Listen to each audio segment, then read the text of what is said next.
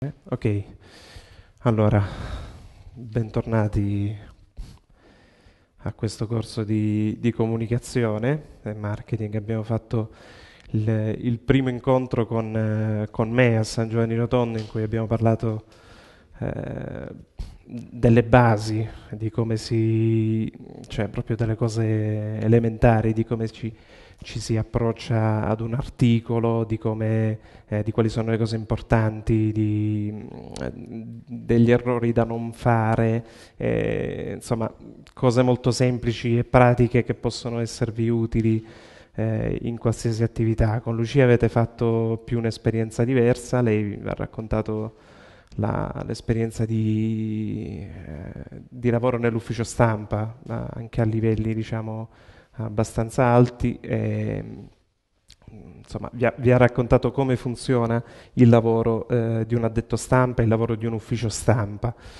Ehm, oggi faremo una cosa un po' diversa, ehm, così almeno per darvi degli strumenti utili, come dicevo l'altra volta, perché alla fine la cosa che serve, questo non è un, un corso di giornalismo, cioè non si a, non si riesce a fare un'esperienza completa, eh, però la cosa importante è quella che eh, a voi possa rimanere qualcosa di, di- di utile.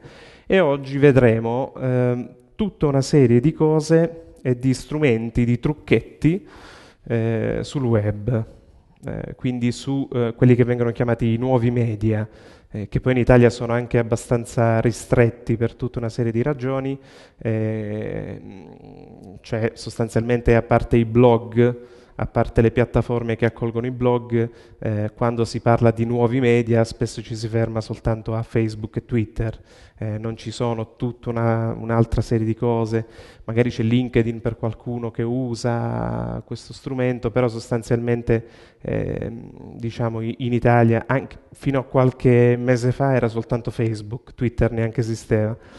E, e quindi oggi vedremo delle cose interessanti su questo, su, ehm, su Facebook, su Twitter. ehm, probabilmente ci saranno molte cose scontate che però magari se vediamo insieme riusciamo a capire come almeno non fare errori e gestire e utilizzare al meglio eh, queste, come dire, questi strumenti. E più che Facebook, eh, soprattutto Twitter, che magari eh, mentre Facebook eh, ci passiamo più tempo, soprattutto gli italiani ci passano più tempo rispetto a Twitter e lo sappiamo usare un po' meglio. Eh, in questo caso naturalmente non, par- non parlo di Facebook come account personali, ma, ca- ma parlo di Facebook come pagine eh, create proprio per eh, pubblicizzare un progetto, un'associazione, un- un una qualsiasi cosa.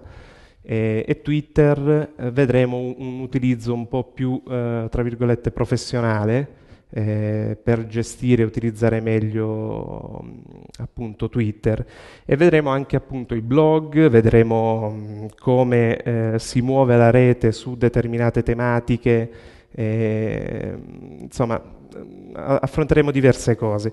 Io per iniziare, stavolta eh, diciamo ehm, vi prendo diciamo così in contropiede eh, mentre l'altra volta la prova pratica l'abbiamo fatta alla fine, stavolta una prova pratica la facciamo all'inizio. Eh, è una cosa semplice, ehm, è un piccolo test, ma davvero semplice. eh, sono 15 domande, domande aperte, eh, sono fogli anonimi, quindi potete scrivere qualsiasi cosa, però è un, come dire, eh, è un po' eh, un termometro per misurare ehm, la nostra posizione rispetto ai nuovi media. Eh, ha concetti chiave, eh, ci sono delle cose che occorre sapere e, e vediamo insieme che cosa sappiamo, che cosa non sappiamo e poi tra l'altro poi vedremo delle cose abbastanza interessanti dopo. Io adesso vi distribuisco questi, questi fogli, ci sono delle penne? Ah, ecco qua. E ci diamo una decina di minuti così eh, per rispondere a queste domande. Ripeto, sono fogli anonimi, poi li prendiamo alla fine e li leggiamo insieme. Non serve, eh, sono domande aperte perché ve l'ho voluta fare un po' più difficile, eh, altrimenti le risposte multiple sarebbe stato più facile. Ehm, ed è così. giusto un primo confronto per capire a che punto stiamo. Certe cose sono davvero semplici, altre un po' meno. Eh, partiamo, di qui, partiamo di qui per vedere come, come siamo messi, diciamo, nel, nell'era di, del web. Considerate che oggi la, la, maggior parte delle, e, il futuro del giornalismo, gioca, del giornalismo, dell'informazione, della comunicazione, si gioca tutto lì. Se non lo sapete fare, siete parecchio indietro. È come non sapere l'inglese e eh, doversi cimentare e confrontare su tematiche come il marketing, cioè non ci mettete piede se non sapete utilizzare il web. E questo è un modo per iniziare. Vi lascio e non vi disturbo per il momento. Una decina di minuti circa, poi riprendiamo i fogli. Non vi preoccupate di scrivere cavolate, non fa niente, non vi giudica nessuno.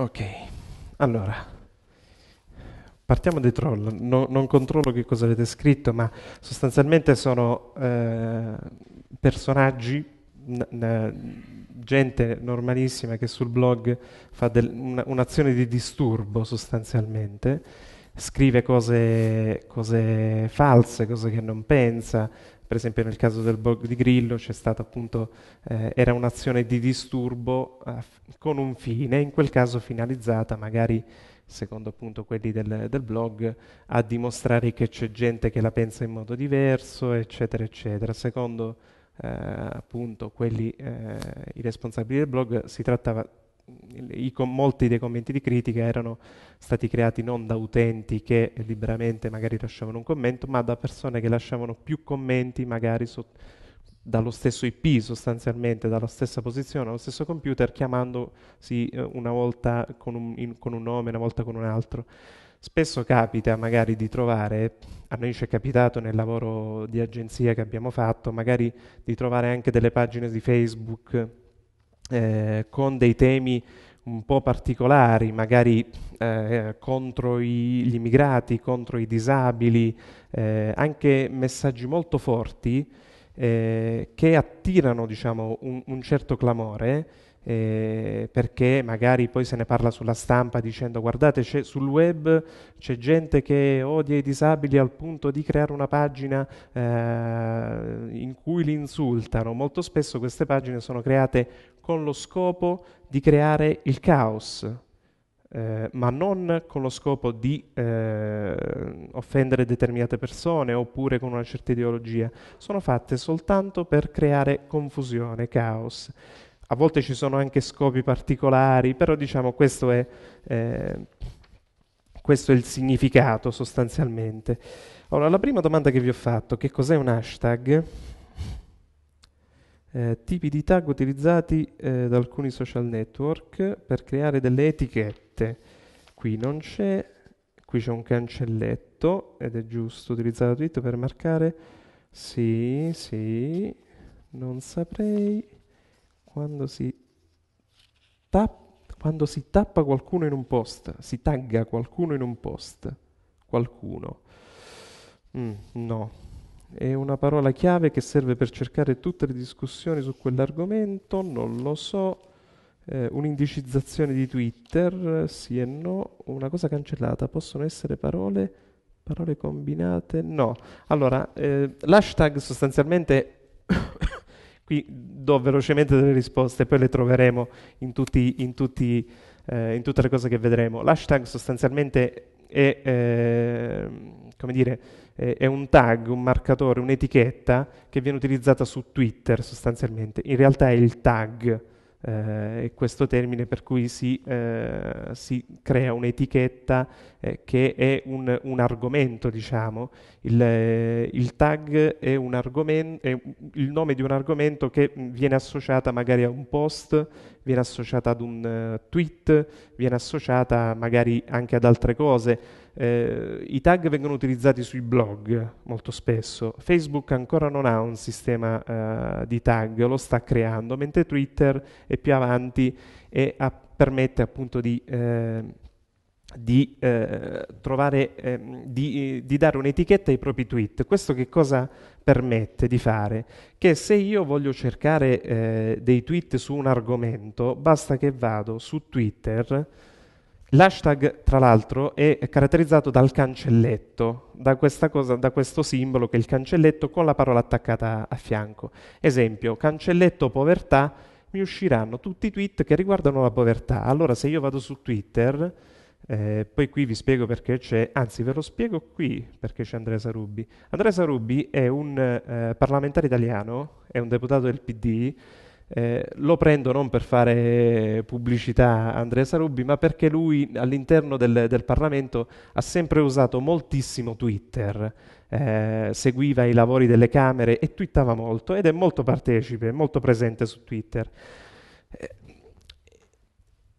e tra l'altro, eh, se vediamo lu- come, come, lo utilizza, la differenza fondamentale dal, dal, dall'hashtag eh, rispetto a eh, quella cosa che mi scriveva qualcuno che serve per indicare una persona, eccetera, eccetera, su Twitter per indicare una persona si fa chiocciola e il nome eh, del, dell'account della persona di Twitter.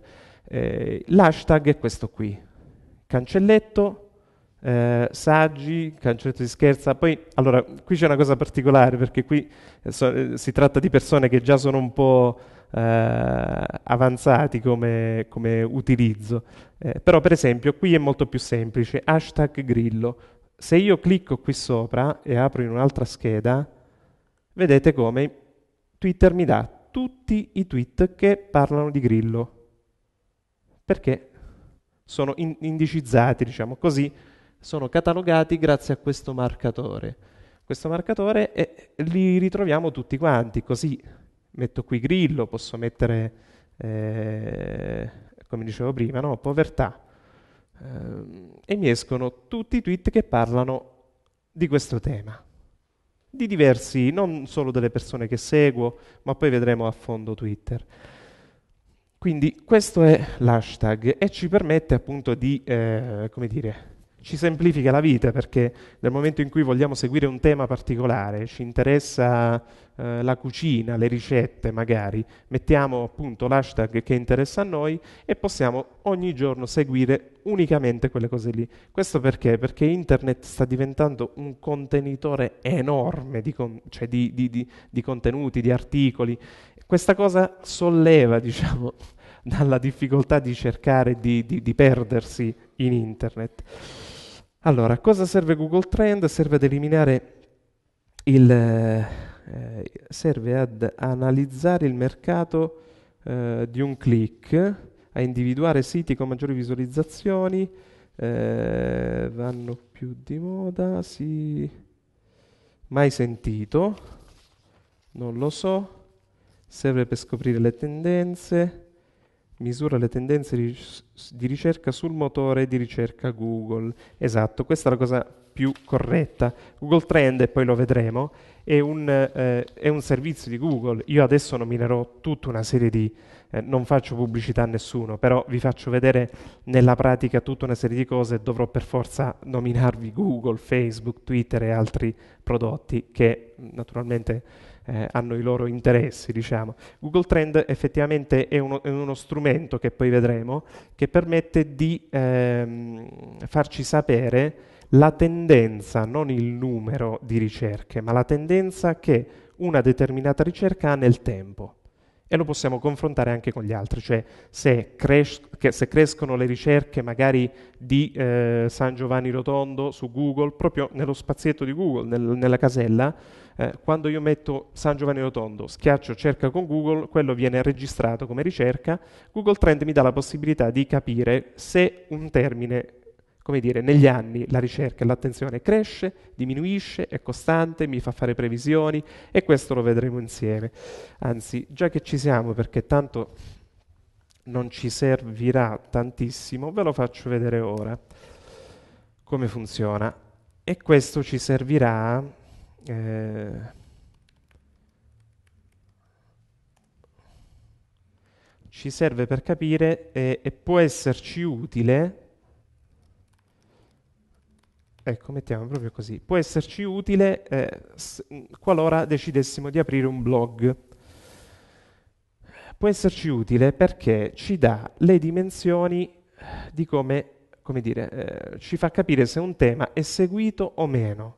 Ora, in questo caso, eh, Google, basta, basta cercare Google Trend, si trova facilmente. In questo caso noi abbiamo un valore che va da 0 a 100, però 100 rappresenta il picco di interesse di ricerca, non sono numeri assoluti, sono rispetto al periodo, è una percentuale rispetto al periodo considerato, che va in questo caso dal 2005 al 2013. Eh, qui fa vedere se si inserisce, se si eh, seleziona questa casella, interse- intestazioni notizie, ci fa vedere come i picchi spesso sono correlati ad alcune notizie. Qui c'è stato un picco interessante e la notizia eh, in quel periodo era appunto la cerimonia di ostensione di Padre Pio. Chiaramente periodo, eh, in un periodo così le ricerche su Google di San Giovanni Rotondo sono schizzate, sono arrivate eh, quasi al massimo insieme a quest'altro periodo in cui ci sono notizie non proprio positive, diciamo. Eh, però è interessante vedere come, come, come vanno. Eh, non vi dice assolutamente appunto, i, i, numeri assoluti, perché magari possono esserci più o meno, eh, no, non, non vi sa dire quante ce ne sono. Vi dà anche una previsione. La cosa interessante è che voi potete aggiungere un, un termine di relazione. E in questo caso vi fa vedere qual è il, eh, ris- cioè tra i due chi viene cercato di più, con quale tendenza, eccetera, eccetera. Allora, in questo caso, eh, poi vedremo anche altri esempi, in questo caso, eh, vedete, c'è una differenza netta, eh, ma perché possiamo immaginarlo? Ci dice da dove provengono, e questi sono praticamente tutti dall'Italia, naturalmente, e ci dice eh, i termini eh, legati alle vi- le visualizzazioni e le ricerche collegate a questo termine poi. Per San Giovanni Rotondo ovviamente sono queste qui, San Pio, Padre Pio, Gargano, Manfredonia, eccetera, eccetera. Per l'altro, che mo non, ci, non riesco a vedere perché la pagina è tutta sballata, ah no, eccolo qui, per San Marco in Lamis invece, ovviamente tutti dall'Italia, spesso si arriva cercando San Giovanni Rotondo, anzi la maggior parte delle volte si arriva cercando San Giovanni Rotondo e si arriva a San Marco, però c'è anche Fracchie, visto che siamo nel periodo delle Fracchie. Ora, questi due termini sono, come dire, eh, non ci, ci, dicono quasi nulla perché comunque sono uh, l'andatura di, di, questo tema sulle ricerche delle persone è costante. Però qualora noi dovessimo aprire un blog oggi, ci mettiamo a tavolino e diciamo io voglio aprire un blog che sia seguito e scri- vorrei iscriverci, vorrei aprire un blog sul volontariato, ad esempio. È interessante capire, eh, anche prima di iniziare a lavorarci, come viene trattato e come il blog reagisce a questo tema. Se vedete bene, la, dire, la, il trend è in diminuzione negli anni. Questo significa che sempre meno questo tema entra nel, eh, nelle ricerche degli utenti. Se per esempio prendiamo un altro termine, una cosa molto più semplice, una torta al cioccolato, questo vi fa capire come viene utilizzato spesso internet, quali sono le ricerche che vanno di più. Allora, la torta al cioccolato batte il volontariato negli ultimi anni. Questo significa che in questo periodo le ricerche eh, di ricette e di blog di cucina vanno tantissimo. Eh, io conosco alcuni amici che, che hanno dei blog e sono molto seguiti e questo comunque vi dà anche una, una, percezione. Poi la cosa bella è che potete inserire dei termini di ricerca. Per esempio possiamo fare un confronto tra un termine semplicissimo, ricette generico, cioè le ricette in genere sono più cercate e il trend è in aumento pure qui. Quindi vi fa capire quali sono le tendenze generali eh, su internet. Se pensate che Google è uno dei maggiori motori di ricerca, eh, an- adesso anche un, motore, un, un, browser proprio, vi fa capire quali sono le tendenze, come si muove. Potete affiancare i nomi dei politici, per esempio, durante le campagne elettorali, vi fa vedere chi è più cercato di... Ed è un, uno strumento interessante, diciamo così, per... Ehm, per, avere, per approcciarsi diciamo, in un modo un po' più critico, uh, come dire, come se f- ognuno di noi fosse un editore e quindi eh, internet fosse un mercato. Allora, le, le, foto su internet, queste le vediamo, vediamo un pochettino. Eh, i, ah, Twitter, i caratteri sono 140, c'è qualcuno, non lo utilizzo, non saprei, non lo so. 140, non lo so, non lo so, non lo uso. Quanti caratteri ho messaggio? Qui non c'è nulla. Mm. Google Currents, ah questo è difficile, non lo so, non lo so, eh, mai sentito, non lo so, non, non, c'è, non c'è, non lo so, non lo so, non lo so. Google Currents è una piattaforma che permette, questo lo potete cercare benissimo su internet, di eh, creare senza sforzi dei siti internet che vanno bene per telefonini, eh, per eh, tablet l'utilizzo è molto semplice, eh, basta aprire un account, eh, segnalare il proprio blog e eh, tramite, vi faccio vedere, tramite un, un sistema già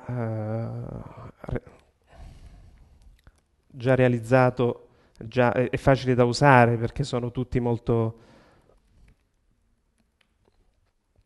tutti molto semplici da usare, potete realizzare un, un uh, potete trasportare un sito, un blog eh, in una pagina un po' più uh, divertente, dinamica su, uh, sul telefonino. Ovviamente è un programma che si installa sui dispositivi mobili, eh, è un esperimento, così come Google fa altri, ne, ne, ne, porta avanti altri tanti, però era un po' per vedere come e quanto conoscevate di Google, questa è una cosa un po' più eh, particolare.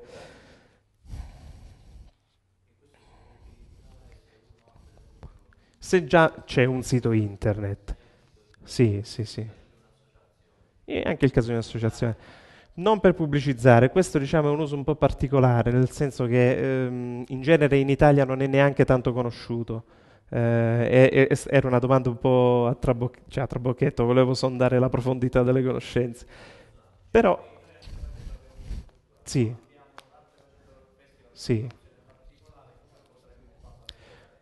Eh, voi eh, avete di sicuro appunto un blog, un sito, eh, il sito ha eh, l'RSS, cioè genera RSS per collegarsi a questi, eh, a, a questi sistemi, basta entrare in, nel, in Google Currents, eh, nel sito proprio, eh, che c'è online, scegliere appunto le impostazioni, l'immagine di copertina, dare indicazioni di qual è l'indirizzo da cui Google Currents deve andare a prendere le notizie, poi fa tutto in modo automatico, cioè le pesca dal, dal, dal vostro sito, le notizie, e le eh, fa un'impaginazione che è eh, buona, diciamo così, per i portatili, per eh, i tablet, eccetera, eccetera.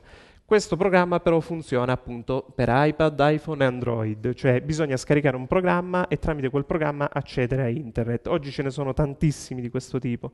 Sono dei feed reader, cioè eh, che permettono di leggere appunto le notizie tramite eh, questo sistema di, eh, di, di, di, link, cioè va a pescare direttamente la notizia seguendo un link e la porta in un lettore. In questo caso appunto Google Currents è una sorta di lettore che impagina le notizie in un modo un po' più simpatico e divertente. In Italia è poco utilizzato, ci sono altri, eh, altri sistemi, però insomma era giusto per, per vedere il testo in PDF. Vediamo un po', giusto un'altra cosa e poi andiamo avanti, tanto le risposte ci saranno. Le infografiche, il fact checking, ecco il fact checking per esempio è molto difficile e lo vedremo comunicazione virale, sicuro che in un massiccio passaparola, questo poi vedremo pure alla fine.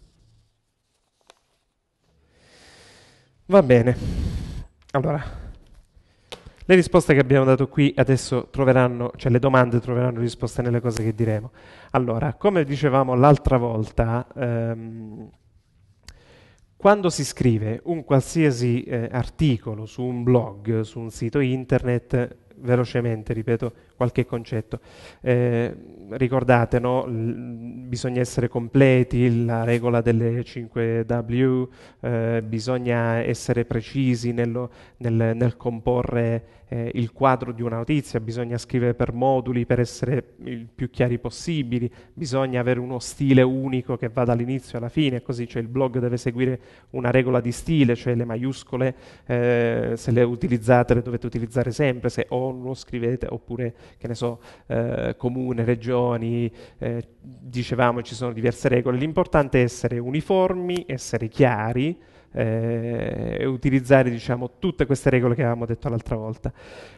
Ora passiamo a un, a un come dire, un, siamo a un passaggio successivo. Eh, io ho creato un blog lo metto per bene, ci metto eh, le fotografie, eh, che adesso vi dirò questa cosa delle fotografie, eh, ci scrivo dei testi, seguo un, uh, un, titolo, faccio un blog di ricette per esempio, però appunto il blog io lo devo pubblicizzare, devo fare in modo che il, eh, il blog, il mio sito dell'associazione, eh, deve riuscire a, eh, ad, essere, ad arrivare su, su, Google, deve essere raggiungibile, deve essere conosciuto, eccetera, eccetera.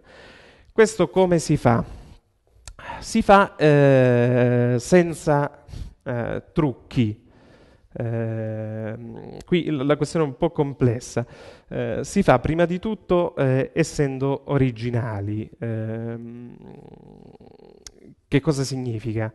Che eh, quando eh, scrivo eh, un articolo, quando scrivo un articolo di un blog, nelle sue parti, cioè il titolo, il sottotitolo, il corpo, del, di questo articolo, di questo post, devono essere il più possibili originali. Spesso ci capita no, di copiare notizie da una parte all'altra, di prendere notizie e pubblicarle sul nostro blog copiandole da qualche parte. In questo caso diciamo, il materiale originale paga sempre. Paga sempre e questo riguarda anche le fotografie. Eh, prima vi dicevo, le fotografie si possono utilizzare prendendole liberamente da internet, la risposta è no, perché la maggior parte delle foto che sono su internet sono coperte da copyright, soprattutto le foto che trovate per esempio sui eh, vari eh, quotidiani eh, sono foto eh, comprate da agenzie, non si possono pubblicare sul, eh, sui nostri siti internet, sono foto coperte da copyright e se noi abbiamo un piccolo blog nessuno ci verrà più o meno a controllare, però diciamo che eh, è sempre meglio non utilizzare eh, materiale coperto da copyright. Questo vale per i testi, quindi se copio un articolo da una parte all'altra, eccetera, eccetera. Vale soprattutto per le immagini. Però la cosa che vi dicevo, la cosa che paga è quella di eh, creare mater- materiale proprio. Eh, quindi se si va a seguire un convegno, una cosa, magari un convegno su eh, la legalità, non c'è bisogno che vada a prendere una foto eh, con eh, la bandiera della pace, eh, magari di un fotografo, e poi mi, mi chiede i diritti.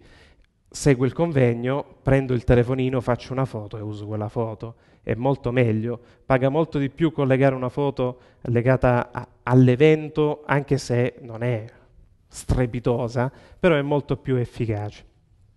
Ora, quando, quando scriviamo appunto eh, partiamo diciamo da, dai blog, partiamo da, eh, dai blog quando scriviamo eh, e quindi anche siti internet, cioè alla fine un sito internet e il blog ormai sono più o meno tutti sulla, sulla stessa lunghezza d'onda.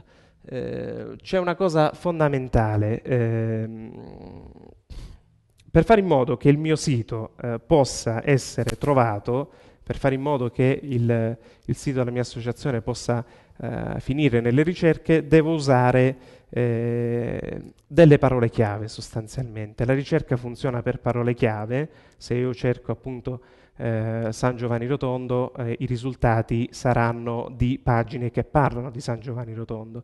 Ora però c'è una cosa fondamentale, una cosa molto interessante, che mentre prima ehm, per far trovare eh, il contenuto di una pagina si usava mettere nell'HTML i meta tag, cioè tutta una serie di parole chiave per cui si veniva indicizzati, oggi questa cosa non funziona più così, non esiste più questo sistema di, di, di, di, indicizzazione e molto dipende proprio dal contenuto del testo. Allora, e il testo deve essere, deve essere, come dire, chiaro, non devo ripetere ogni 5 minuti San Giovanni Rotondo per finire in, in prima posizione, perché la ricerca risponde alle parole chiave, ri, ri, risponde ai collegamenti che ho con gli altri siti di San Giovanni Rotondo, che richiamano San Giovanni Rotondo, cioè se di lì eh, ci sono dei link che rimandano al mio blog, questa correlazione viene premiata dai, dai, dai, dai, motori di ricerca.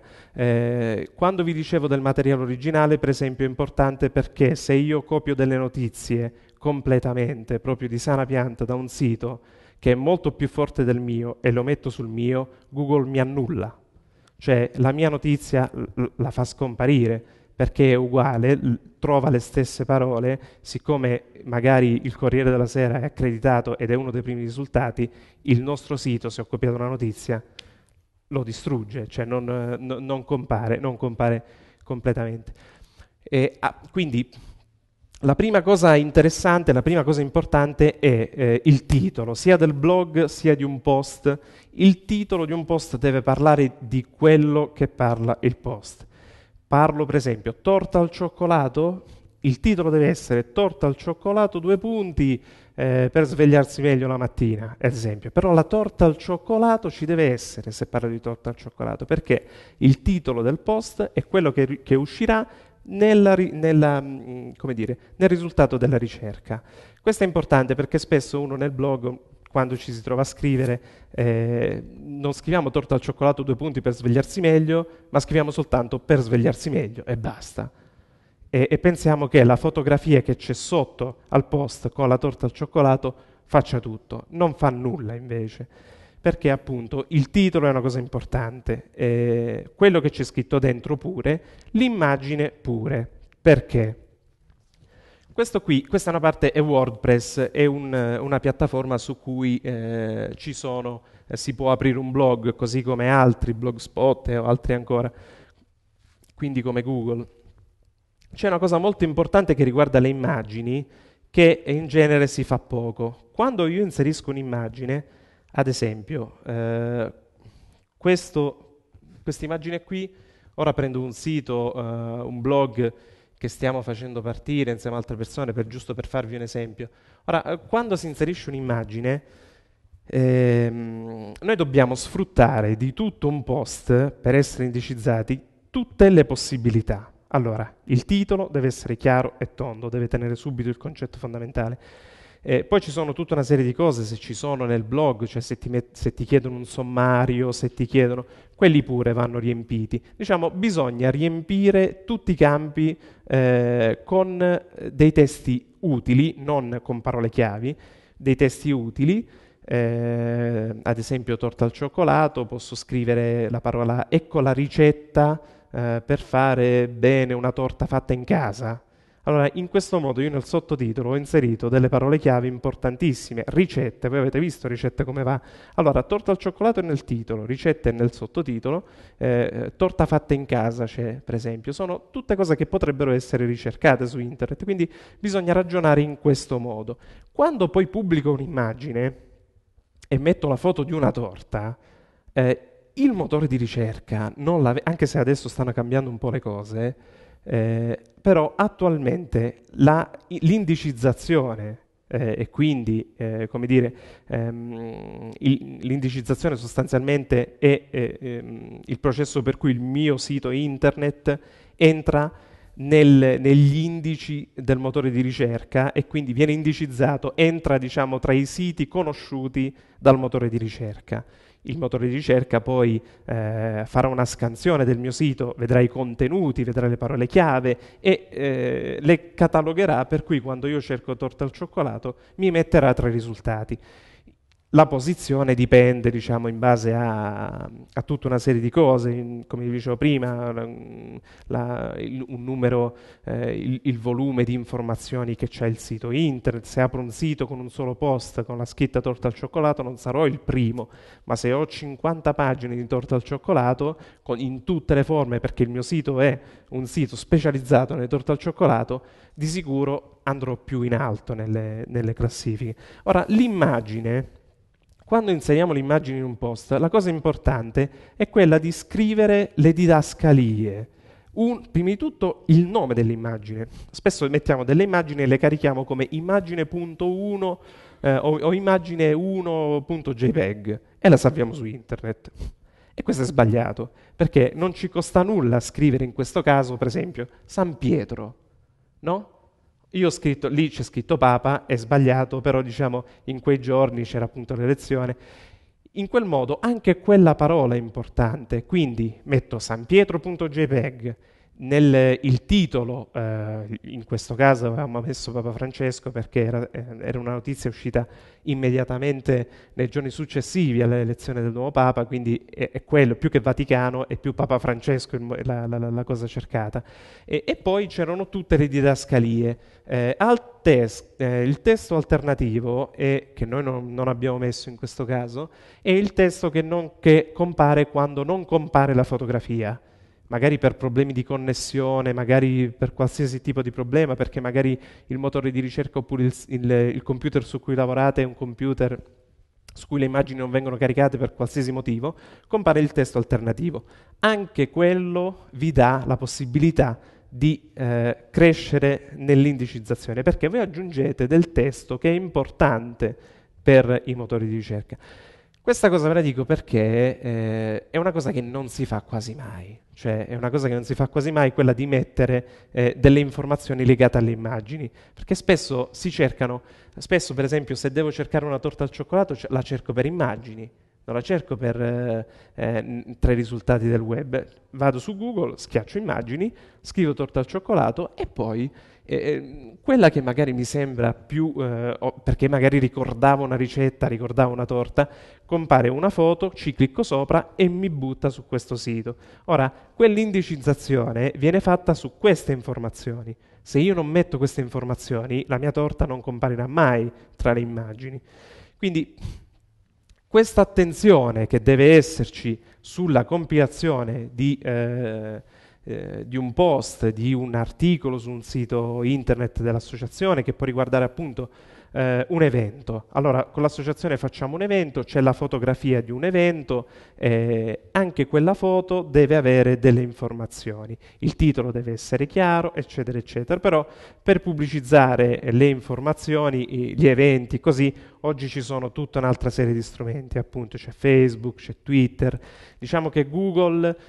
Eh, il motore di ricerca serve eh, se noi vogliamo, bisogna vedere appunto che obiettivi abbiamo con il sito. Se siamo un'associazione che lavora sul territorio, un'associazione di, mh, mm, culturale che lavora sul territorio, a me magari può anche non interessare arrivare alle persone che sono a Milano, a Torino, mi basta stare qui. E in questo caso, più che puntare, magari essere più attenti su questo, basta far funzionare meglio eh, i, eh, strumenti come Facebook, strumenti come Twitter, quest- questi qui. Poi bisogna anche qui capire chi e quante persone ci sono sull'uno o sull'altro e quindi privilegiare l'uno o l'altro.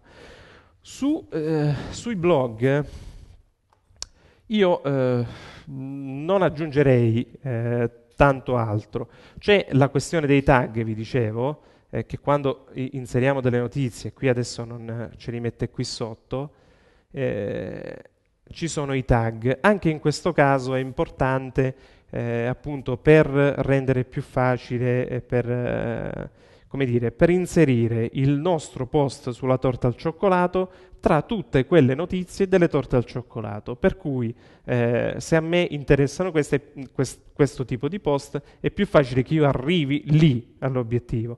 Questo avviene appunto se io inserisco questi, queste etichette, queste etichette appunto che abbiamo detto i tag, che troviamo anche su Twitter.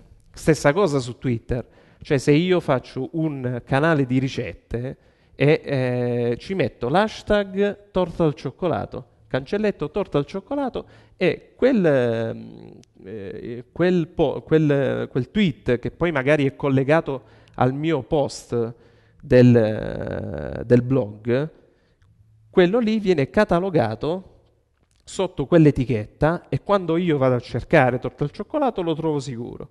Quindi questo è il meccanismo che bisogna imparare a fare, cioè dare, dare valore alle parole che si usano, essere essenziali, non ripetitivi, ricordiamo, no? Il titolo, torta al cioccolato, sottotitolo, ricetta per una torta fatta in casa, eccetera, eccetera. Eh, quindi non essere ripetitivi, non riscrivere sempre le stesse parole e utilizzare tutti gli strumenti, il video, la fotografia eh, e anche lì riempire tutti i campi. Questo è essenziale. Ora diciamo, eh, per vedere, mm, poi magari vediamo se, se dimentico qualcosa ci ritorniamo su, se avete domande fermatemi immediatamente perché se no andiamo avanti e, e non mi riprendete più. Sì, anche curiosità se non capite una cosa, se bisogna ripeterla, perché eh, sono, questa è una lezione un po' più tecnica, un po' più pesante, meno divertente, però eh, vedremo tutta una serie di cose interessanti eh, da, da, utilizzare. Eh, su come scrivere un testo l'abbiamo detto già l'altra volta, qui andiamo un po' alla parte, eh, una parte un po' più tecnica. Ora, andiamo su Facebook.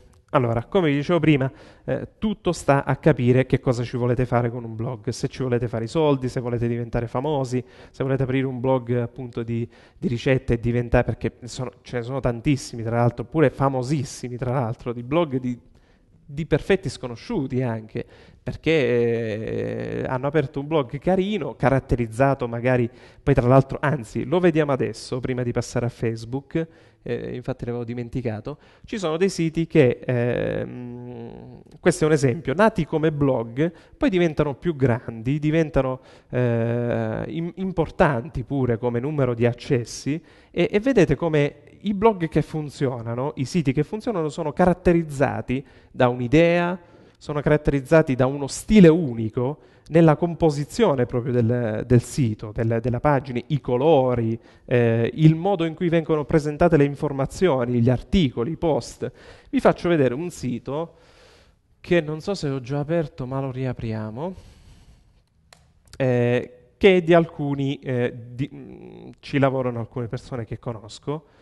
Eh, parlo appunto di questi casi perché eh, sono casi interessanti eh, che conosco un po' più da vicino. Allora, il sito è questo qui, si chiama Nuoc, ha vinto anche svariati premi ultimamente ed è un sito fatto, nato dall'idea di una ragazza italiana che era andata a New York a scrivere un blog. Allora aveva cominciato a, mes- a mettere in piedi questo sito su New York proprio, eh, in italiano, in cui raccontava eh, gli aspetti più belli della città. E Nuoc, l'idea di Nuoc, Nuoc eh, raccontava appunto in, in, in alcune interviste eh, che la versione, ehm, come dire, è New York pronunciata da un bambino. È semplice, Nuoc. Ed è molto semplice, ve lo ricordate, è originale tra l'altro. Eh, vedete come il colore ritorna, ritorna lo stile, no? Di, eh, eh, poi lo vedremo in, ehm, eh, eh, in, in, modo più approfondito eh, e vedremo lo stile anche negli articoli. E come vedete, nell'organizzazione della pagina, le cose importanti, questa è come la prima pagina di un quotidiano, quando fate un sito, un blog, eh, diciamo, le cose importanti sono, uno, una, un menu in cui soprattutto la prima cosa dovete dire chi siete, che fai, cioè io odio quei siti internet, quei blog dove vai e non sai chi è che scrive, perché fa quel blog.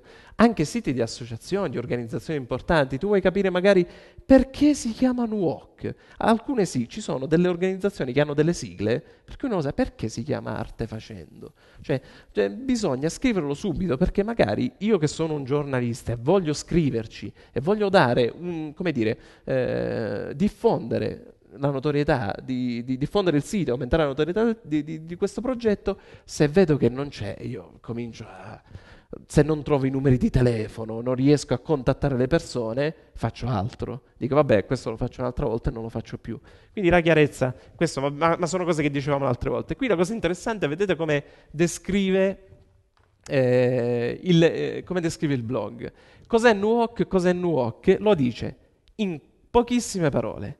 Poi dice in 27 parole e poi lo dice in 72 parole. Cioè, per dire, se non avete proprio tempo, leggete la prima riga. Se avete 5 secondi in più, leggete l'altra. Se proprio... Eh, vi do tutta la descrizione. Vedete, allora, cos'è Nuok? Il magazine online di viaggio, arte, cibo, che avesse bis- nei muri, vabbè, qui vi dice anche perché è cultura. Ha messo le parole chiave. Cioè, sono le parole chiave. Che cos'è? È questo. 1, 2, 3, 4. Qui comincia a dire spinta dall'amore, eccetera, eccetera, e qui vi spiega un po' di più, poi si va avanti, ci sono anche altre spiegazioni, è una sorta di FAQ, no? di domande e risposte, le domande che probabilmente l'utente eh, si pone in questo caso e, e trova già le risposte. Eh, quanto guadagna e non guadagna niente, poi magari ne parleremo di questa cosa, del problema della pubblicità su internet, che non è non è per niente semplice. Eh, altra cosa importante, se avete un blog o un sito internet, come dicevamo l'altra volta, sono i link. Cioè la potenza di questo strumento è che potete permettervi di collegare le cose. Se non lo utilizzate avete sprecato un'opportunità. Quindi in questo caso ha messo, e ha messo un link. È caratterizzato, ha lo stesso colore di tutto il resto, e poi, scendendo giù, trovate appunto il riquadro, trovaci su Facebook, per, per insomma, collegarvi anche su questo, eccetera, eccetera. Però andiamo a vedere come loro pubblicano una notizia. Allora, eh, loro parlano appunto di viaggi, turismo, eccetera, eccetera. Un, un post di eh, questo sito è organizzato in questo modo. Allora, in, allora, ho preso l'esempio sbagliato perché volevo farvi vedere un'altra cosa. Uh, andiamo qui. Qual era? Allora, avevo visto, forse questo? Sì, vediamo.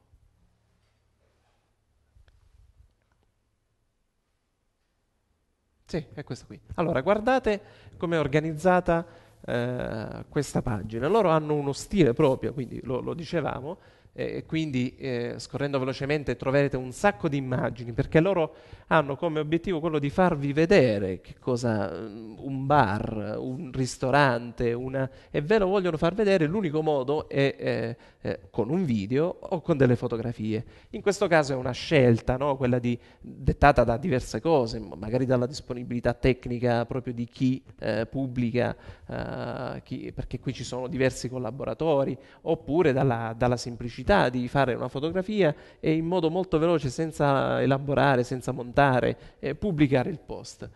Quindi c'è un buon caffè a New York alla turca, eh, qui ci sono appunto in queste parti poi qui è scritto anche in un modo, non, non, si rispettano più o meno i canoni della notizia proprio, è scritto in un modo particolare. Però la cosa che mi interessa farvi vedere è, in alto ci sono Twitter e Facebook. Questa è una cosa che su un blog, su un sito internet ormai non può non mancare, ci deve essere sempre, sempre. E poi devono essere i tasti, non il link alla pagina Facebook.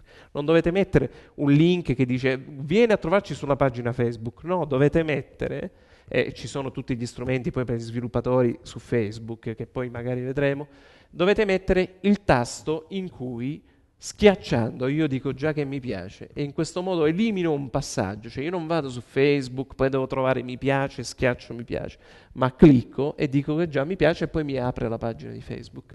Poi mette, visto che si parla di viaggi, di, eh, di luoghi, mette la mappa anche in questo caso si può fare su, eh, su, su Google, eh, su Google Maps, e ora non affronteremo tutti, però è importante saperlo perché magari quando si affronta un progetto e si ha a che fare, eh, cioè, lo si fa con altre persone, magari persone webmaster che ci sanno lavorare, però l'idea deve essere di, cu- di chi cura la comunicazione, il fatto di mettere quella mappa lì non del webmaster e di chi ti risolve i problemi a livello tecnico. Quindi c'è la mappa, ci sono le informazioni qui su, tutte, eh, su tutto quello che trova, poi c'è la pubblicità, poi c'è chi lo scrive e poi ci sono, ti potrebbero interessare anche, questi sono sistemi che si possono realizzare sul blog. Però la cosa interessante e importante è vedere appunto i link che ci sono evidenziati nel post,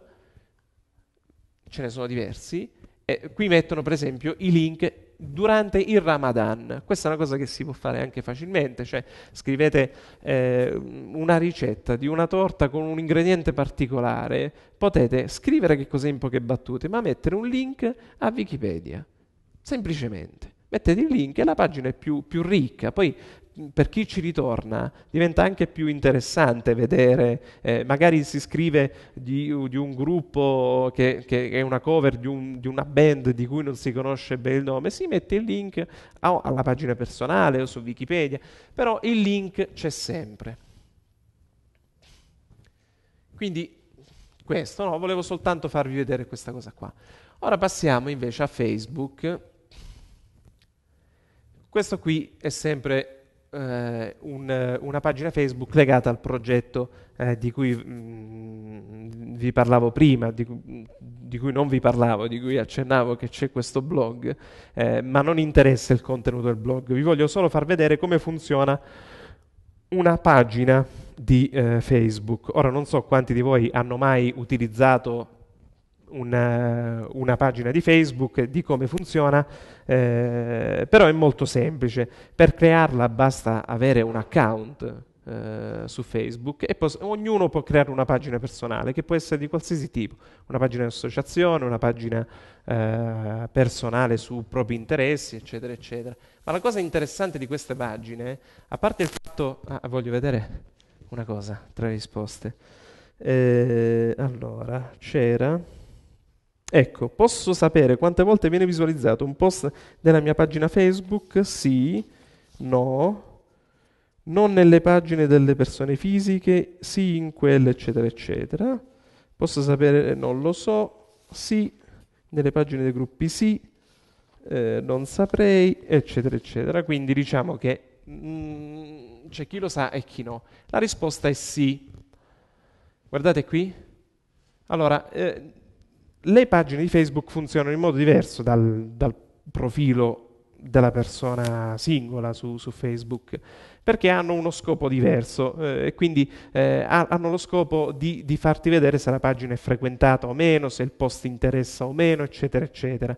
È logico che voi lo vedete se, se, se la gente clicca mi piace, se condivide, però eh, è anche importante capire la eh, diffusione eh, di un vostro post, cioè quante persone l'hanno visto. Voi quando pubblicate una cosa, lo status eh, su Facebook, n- non sapete quante persone lo vedono, cioè sapete le persone che, che cliccano mi piace o che commentano. In questo caso ve lo dice, ve lo dice e vi dice tra l'altro, eh, andando sopra, le interazioni spontanee e le interazioni virali. Allora, in questo caso le interazioni spontanee sono eh, le visualizzazioni della gente che ha, che, ha, che ha, cliccato su mi piace, quindi della gente che segue già la pagina. Quelle virali sono le visualizzazioni fatte eh, dagli amici delle persone che hanno cliccato mi piace o condividi. Quindi quando voi pubblicate un qualcosa su internet dovete pensare che eh, eh, c'è una potenza di, di tiro molto più alta di quella che è il numero delle persone che vi segue. Quindi, in questo caso, diciamo, la parte virale, e poi vedremo, è sempre così, cioè il, um, il, il nucleo di persone che c'è intorno al sito, di, quindi le, i 200 qui non, lo, non, non, ce lo fa vedere per bene, però sono tipo 200 e qualcosa, queste 200 rotti persone hanno ognuna ha circa 300 amici, dai 100 ai 300, chi 400, chi pure di più. Quando io, che ho 400 amici, clicco mi piace perché sono collegato a questa pagina, anche i miei amici che non sono legati a questa pagina vedono il post. Quindi c'è questa, questo tipo di interazione. La cosa più importante di queste pagine sono gli insight. Gli insight perm- sono delle statistiche, ci permettono di capire eh, l'andamento eh, di quelle che noi vediamo, no? che sono eh, il numero di persone di, di, eh, che viene a contatto con i post, con la nostra pagina, eccetera, eccetera. Eh, e questo vi fa vedere su questo schema, per esempio in, in Fuxia sono, eh, c'è la data e il giorno in cui viene inserito un post. Allora voi potete vedere se interessa o meno, se viene seguito o meno. Eh, spesso magari le notizie di un'associazione possono essere, spesso eh, c'è un convegno, c'è un incontro e magari queste notizie n- non interessano e sono più seguite altre. come vedete qui sotto voi avete gli, come dire, eh, in, in, uno schema, in una tabella, eh, potete vedere quanto funziona e quanto non funziona una notizia, un post.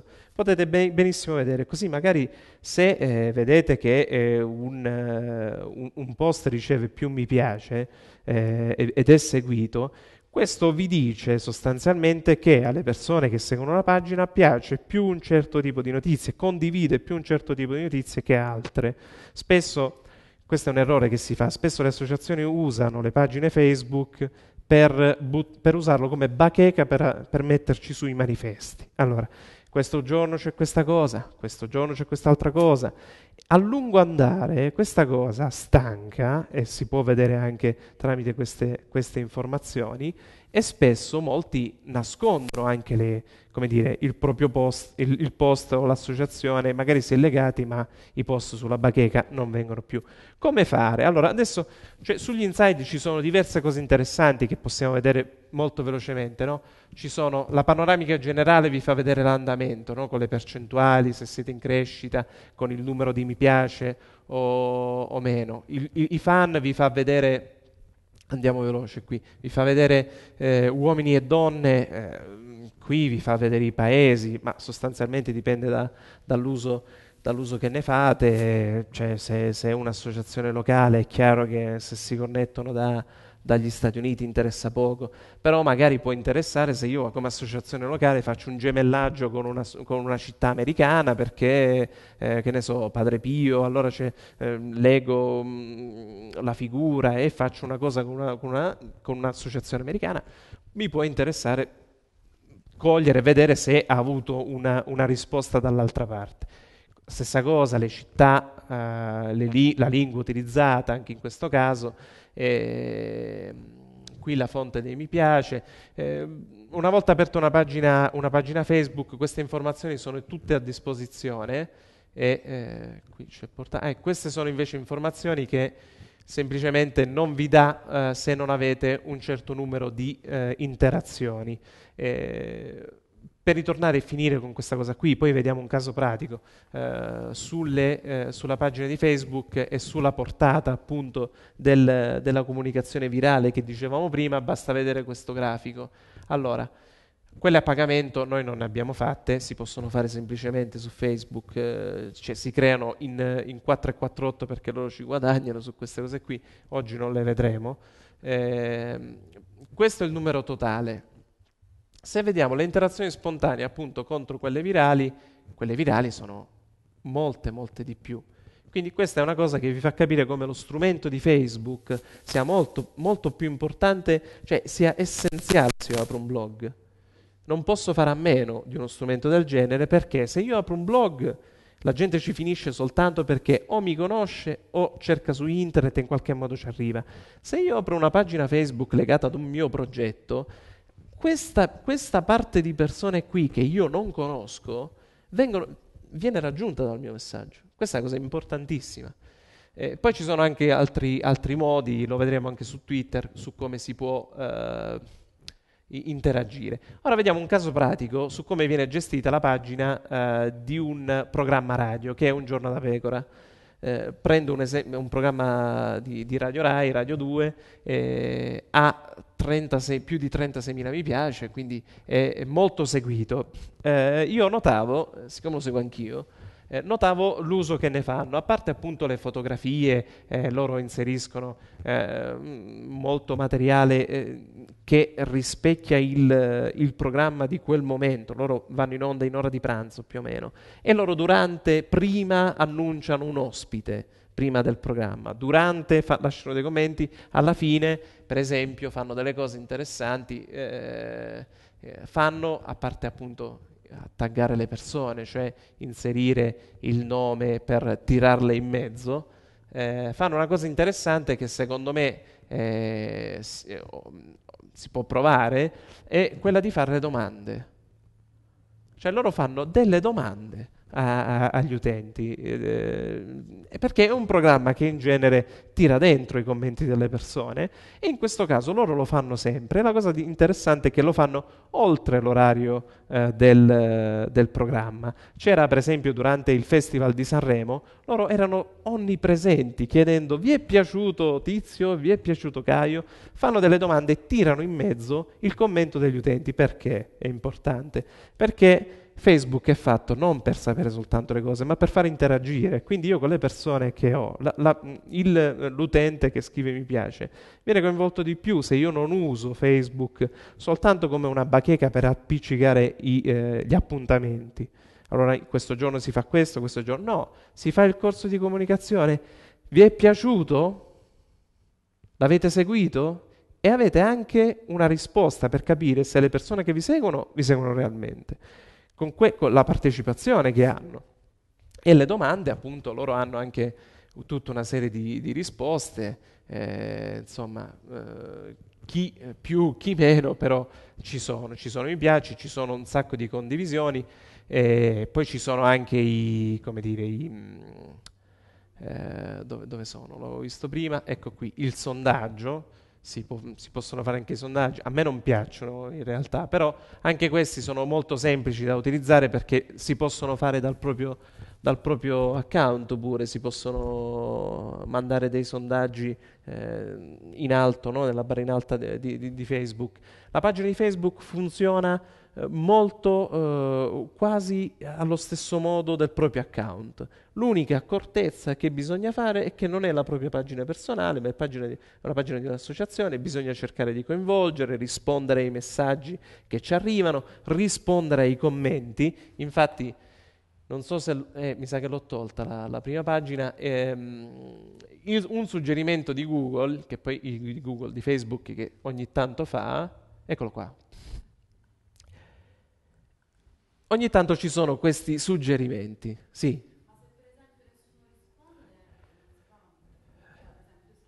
Esatto. Nessuno. Sì. Sì, è un rischio, è sempre un rischio. Eh, nel senso che ehm, quando pubblichiamo sia su Twitter sia su Facebook, eh, il rischio è quello appunto che eh, non ci siano risposte, che non ci siano... Eh, ed è un rischio reale, nel senso che eh, ci, ci, si espone in questo caso. Ovviamente prima di lanciare una domanda del genere io mi vado a vedere le interazioni, vado a vedere che cosa interessa di più per sbagliare di meno.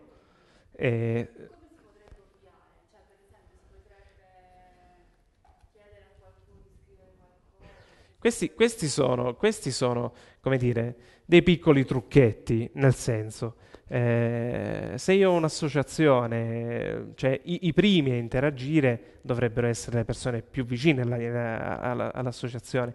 Ovviamente se io mi faccio una domanda e mi do una risposta è una cosa banalissima, cioè eh, mm, non posso rispondere io, lì faccio la doppia brutta figura. Una cosa che avevamo notato con altre persone, per esempio, quando eh, pubblico un post per farlo ritornare su in graduatorie, perché lì naturalmente i post di Facebook scendono giù, eh, io che l'ho pubblicato posso dire che mi piace, anche se l'ho pubblicato io. Dopo quelle due o tre orette che è passato, eh, che è andato giù, io ci clicco su mi piace e risale su. se non clicca più nessuno. E poi risalendo su in graduatoria, eh, le persone po- cioè, che lo rivedono, magari quelli che non l'hanno visto prima, possono tornare a cliccarci. L'altra cosa importante, e questo lo vedremo anche su Twitter, è l'orario in cui si twitta, eh, in cui si twitta e in cui si mettono messaggi su Facebook. Io non posso pubblicare, non posso, certo che posso, ma è sbagliatissimo, non posso mettere su Facebook eh, una domanda del genere alle 11 e mezza di notte, perché lì è sicuro che non mi risponde nessuno. Passa poco tempo, quella notizia finisce inevitabilmente in fondo, perché nelle prime ore del mattino basta che qualcuno scrive ciao e sulla mia bacheca passa prima. Allora, eh, noi eh, se abbiamo, per questo servono anche eh, gli insight sui paesi, eh, Facebook non dà informazioni sugli orari, Twitter in, in, un modo che vi faccio vedere, sì, e tra l'altro vi faccio vedere uno strumento micidiale per l'uso di Twitter. Eh, Facebook non dà queste informazioni, però lo possiamo immaginare. Ognuno di noi va su Facebook e vede nella barra di sinistra per quante persone è online. Lo sappiamo gli orari in cui la gente è online. Allora magari lo controlla la mattina e lì devo pubblicare dalle 8 in poi più o meno. Lo pubblica, mm, non lo so, eh, molti lavorano tutto il giorno e non lo controllano, alle 5 vanno tutti su Facebook perché finisce l'orario più o meno di lavoro o nel primo pomeriggio. Bisogna valutare un po' quello, anche i propri contatti, vedere un pochettino anche la diffusione che si ha e poi vedere anche nella, dire, nella, gestione della pagina la risposta che si ha. Però per questa cosa dell'orario è importantissimo. Spesso lo facciamo quando abbiamo tempo, però quello è l'importante. Cioè, noi vogliamo diffondere una cosa, vogliamo che sia diffusa, dobbiamo scegliere l'orario giusto, cioè il modo giusto e l'orario giusto. Anche per esempio eh, eh, quella, l'idea di scrivere soltanto la domanda eh, spesso abbiamo, cioè abbiamo, visto, ma anche altre persone hanno visto, che l'aggiornamento dello Stato in genere eh, ha un punteggio, tra virgolette, superiore, riesce a stare un po' più in alto nella classifica rispetto alle eh, immagini o ai contenuti un po' più, più, pesanti come video, fotografie, eccetera, eccetera. Però diciamo la, la, la cosa più importante è questa, valutare l'orario, eh, collaborare tra le persone eh, che eh, rendono viva la pagina e quindi eh, tra chi segue e chi cura il progetto e, e poi ovviamente è sempre un rischio, cioè eh, è chiaro che se faccio una domanda e nessuno risponde vuol dire che probabilmente c'è uno, um, dire, uno scollamento tra eh, io che sono il gestore della pagina e gli utenti, vuol dire che gli utenti eh, non, non, mi seguono, poi, o la domanda è sbagliata, magari se faccio una domanda vi è piaciuto il corso e le persone eh, che sono al corso magari sono poche, oppure se ne sono tantissime, per esempio, eh, probabilmente qualcuno risponderà. Eh, cioè ci sono delle cose che vanno valutate in questo, in questo senso.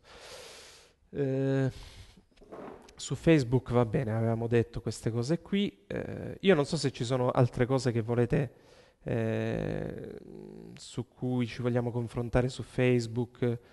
Ehm, alla fine è, è questo, no? voi lo, lo conoscete, Facebook lo conoscete, magari è più complicato Twitter, perché Facebook lo vedete ogni giorno come funziona. La pagina vi dà delle informazioni in più e delle cose in più. Ora, Twitter, passando a Twitter, è, eh, come dire, è una bestia nera, nel senso che noi abbiamo scoperto Twitter da poco. Eh, in Italia eh, Twitter è eh, utilizzato eh, così più, più, o meno da qualche mese e comunque sta crescendo il numero di utenti. Twitter ha un utilizzo, come credo sappiate, un po' più eh, limitato, tra virgolette, cioè non, non, non ci sono esperienze, cioè non viene utilizzato in genere per condividere eh, le impressioni, esperienze, cose che ne so, stamattina mi sveglio, ma ho la mitica frase che scrivono sempre, che si scrive sempre su Facebook, è lunedì, è, è venerdì, cioè il venerdì trovi gente, ah, è venerdì. Oppure il lunedì no, è lunedì. Queste le trovate sempre su Twitter, molto probabilmente queste frasi non le trovate perché viene utilizzato in modo diverso, viene utilizzato per condividere, diciamo, interessi. condividere interessi, quindi condividere opinioni, condividere link, condividere articoli, eh, ed è una macchina infernale perché è velocissima. Cioè Facebook è molto più, eh, dipende sempre dal numero di amici che si hanno, però Twitter è una sorta di agenzia di stampa perché, voi vedete, qui abbiamo tre minuti, vi dice in quanti minuti eh, ora io per esempio ho poche persone che seguo, eh, perché eh, ho altri, altri, account, quello personale alla fine lo uso, lo uso rel- relativamente poco, eh, però è interessante vedere come nel giro di pochissimi minuti eh, le, le, informazioni eh, vadano scorrano molto, molto velocemente e c'è da considerare che oggi è sabato, c'è da considerare che siamo in un periodo festivo, altrimenti il lunedì, il martedì si tratta proprio di secondi e l'informazione che metto eh, entra in questa gradatoria e come nelle agenzie di stampa corre giù, eh, viene rilanciata se la retweet, eccetera, eccetera, eh, ma ora vediamo come funziona. Ehm, vi do due basi magari per chi non conosce, chi non conosce Twitter. Twitter appunto è un sistema per cui, eh, oh, andiamo nella, nella, mia pagina, eh, è un sistema di condivisione molto semplice, eh, c'è uno spazio di 140 battute, eh, sostanzialmente un sms, in questo sms voi dovete farci stare tutto quello che pensate, cioè volete dare un giudizio, lo potete fare soltanto in 140 caratteri e basta e nei 140 caratteri ci deve essere magari la uh, chiocciolina con il nome della persona magari a cui scriviamo, ci deve essere l'hashtag con uh, hashtag Pasqua perché sto scrivendo un, una cosa su Pasqua, se ci metto un link ci deve stare anche il link ed è per questo che si usano eh, dei siti che accorciano i link, anche Twitter lo fa, ci sono bit.ly, ci sono eh, diversi, diversi, tipi, basta cercare su Google, eh, accorciare un, uh, un, link, accorciare un, un URL, trovate tantissimi sistemi. Quelli servono per ridurre appunto eh, l'indirizzo che è http www eccetera eccetera, che prende tutti i 140 caratteri e li mette in uno spazio di 5-6 caratteri. Eh, i, i, i, come dire, le, le cose, eh, le, gli strumenti sono appunto la chiocciolina e il nome quando voi volete comunicare con qualcuno e lo fate pubblicamente, nel senso, eh, alla domanda, vediamo un po'. Eh, quanti caratteri? Si possono inviare messaggi alle persone che seguo su Twitter? Sì. Eh, qui non mi rispondo, credo di sì. Eh, no, non lo so, eccetera, eccetera. Va bene. La risposta è ni, nel senso, se il contatto che io seguo, tra l'altro io, purtroppo io non so il, il livello di conoscenza di, che avete di Twitter, comunque... Eh, questa è la prima pagina, lì sono il numero di tweet, è la mia, è la mia pagina, c'è il mio nome, il, eh, il nome con cui eh, mi trovate su Twitter che è chiocciola Gianni Augello, eh, Gianni Augello, chiocciola tutto attaccato, è quello il mio nome su Twitter, la descrizione di quel che faccio, i tweet, following e follower. Following sono quelli che io seguo, cioè che, a cui mi aggancio per eh, vedere loro che cosa pubblicano, ogni giorno e per cui io li seguo e sulla mia bacheca, che non è questa, è, è, quella, è quella, generale, eh, mi compaiono eh, i loro tweet. I follower invece sono quelli che io seguo, eh, no, eh, i follower sono quelli che seguono me. Scusate, i follower sono quelli che seguono me eh, e quindi che seguono tutte le cose che io scrivo, che gli compare nella loro bacheca. C'è questo sistema. Ora, i messaggi privati, che sono questi qui, sono anche in questo caso, i messaggi diretti sono sempre messaggi di 140 battute, non li posso scrivere a tutti, li posso scrivere soltanto alle persone con cui c'è uno scambio bidirezionale. Io seguo loro, loro seguono me. Se io seguo uh, Vasco Rossi su Twitter, non gli posso scrivere se lui non segue me. L'unico modo che ho per comunicare con lui è pubblicamente. E, e questa è una delle cose più interessanti di questo, eh, di questo, sistema che è Twitter, che io posso scrivere sulla, eh, direttamente a Barack Obama, al suo, al suo canale Twitter, mettendo la chiocciolina, il suo nome identificativo e gli scrivo ciao come stai, esempio. E lo posso fare. Cioè si può fare, si può entrare in contatto con anche persone che non conosciamo, esperti, magari abbiamo visto un articolo di un giornalista, sappiamo, spesso gli, i giornalisti hanno sotto all'articolo il, il nome su Twitter, li, li, li, l'identificativo che si può trovare e su cui possiamo trovare su Twitter, si può scrivere, anche se non siamo collegati con loro, eh, anche se non li seguiamo, possiamo tirarli in mezzo dicendo... Eh, adesso tra i miei non ce ne sono,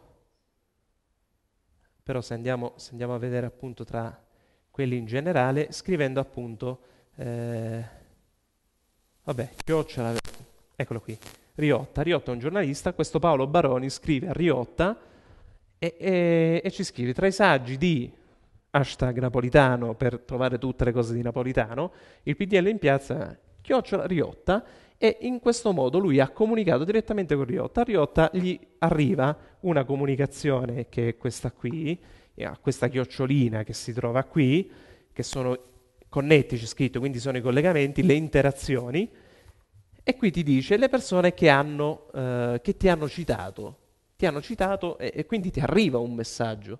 Cioè, tu non pu- puoi anche ignorarlo, però sai, quando ci scrivi chiocciola, eccetera, eccetera, che la persona che hai eh, interpellato in qualche modo ha visto questo tuo messaggio. Eh, il cancelletto sono appunto eh, sono gli hashtag, quindi sono i temi, qui ci scrivete qui il tema, eccetera, eccetera. Eh, dunque, che cosa vi stavo dicendo su Twitter? I messaggi. Ah, eh, lo strumento che abbiamo per dire, per rilanciare una cosa che ci interessa e andando qui vicino possiamo rispondere, quindi magari a una persona che scrive una cavolata oppure una cosa che per noi è interessante, possiamo cliccare su risposta, compare appunto, ci fa vedere anche la notorietà di questo tweet. Ha avuto tre retweet, una persona l'ha messo tra i preferiti e io posso scrivere, qui mi mette già la citazione, posso scrivere, guarda, eh, bellissimo articolo, è bello, interessante, eccetera, eccetera. Eh, preferi, qui c'è una persona che l'ha messo tra i preferiti, qui ti dice chi sono queste persone che, hanno, che si sono collegate con, con, uh, con questo tweet.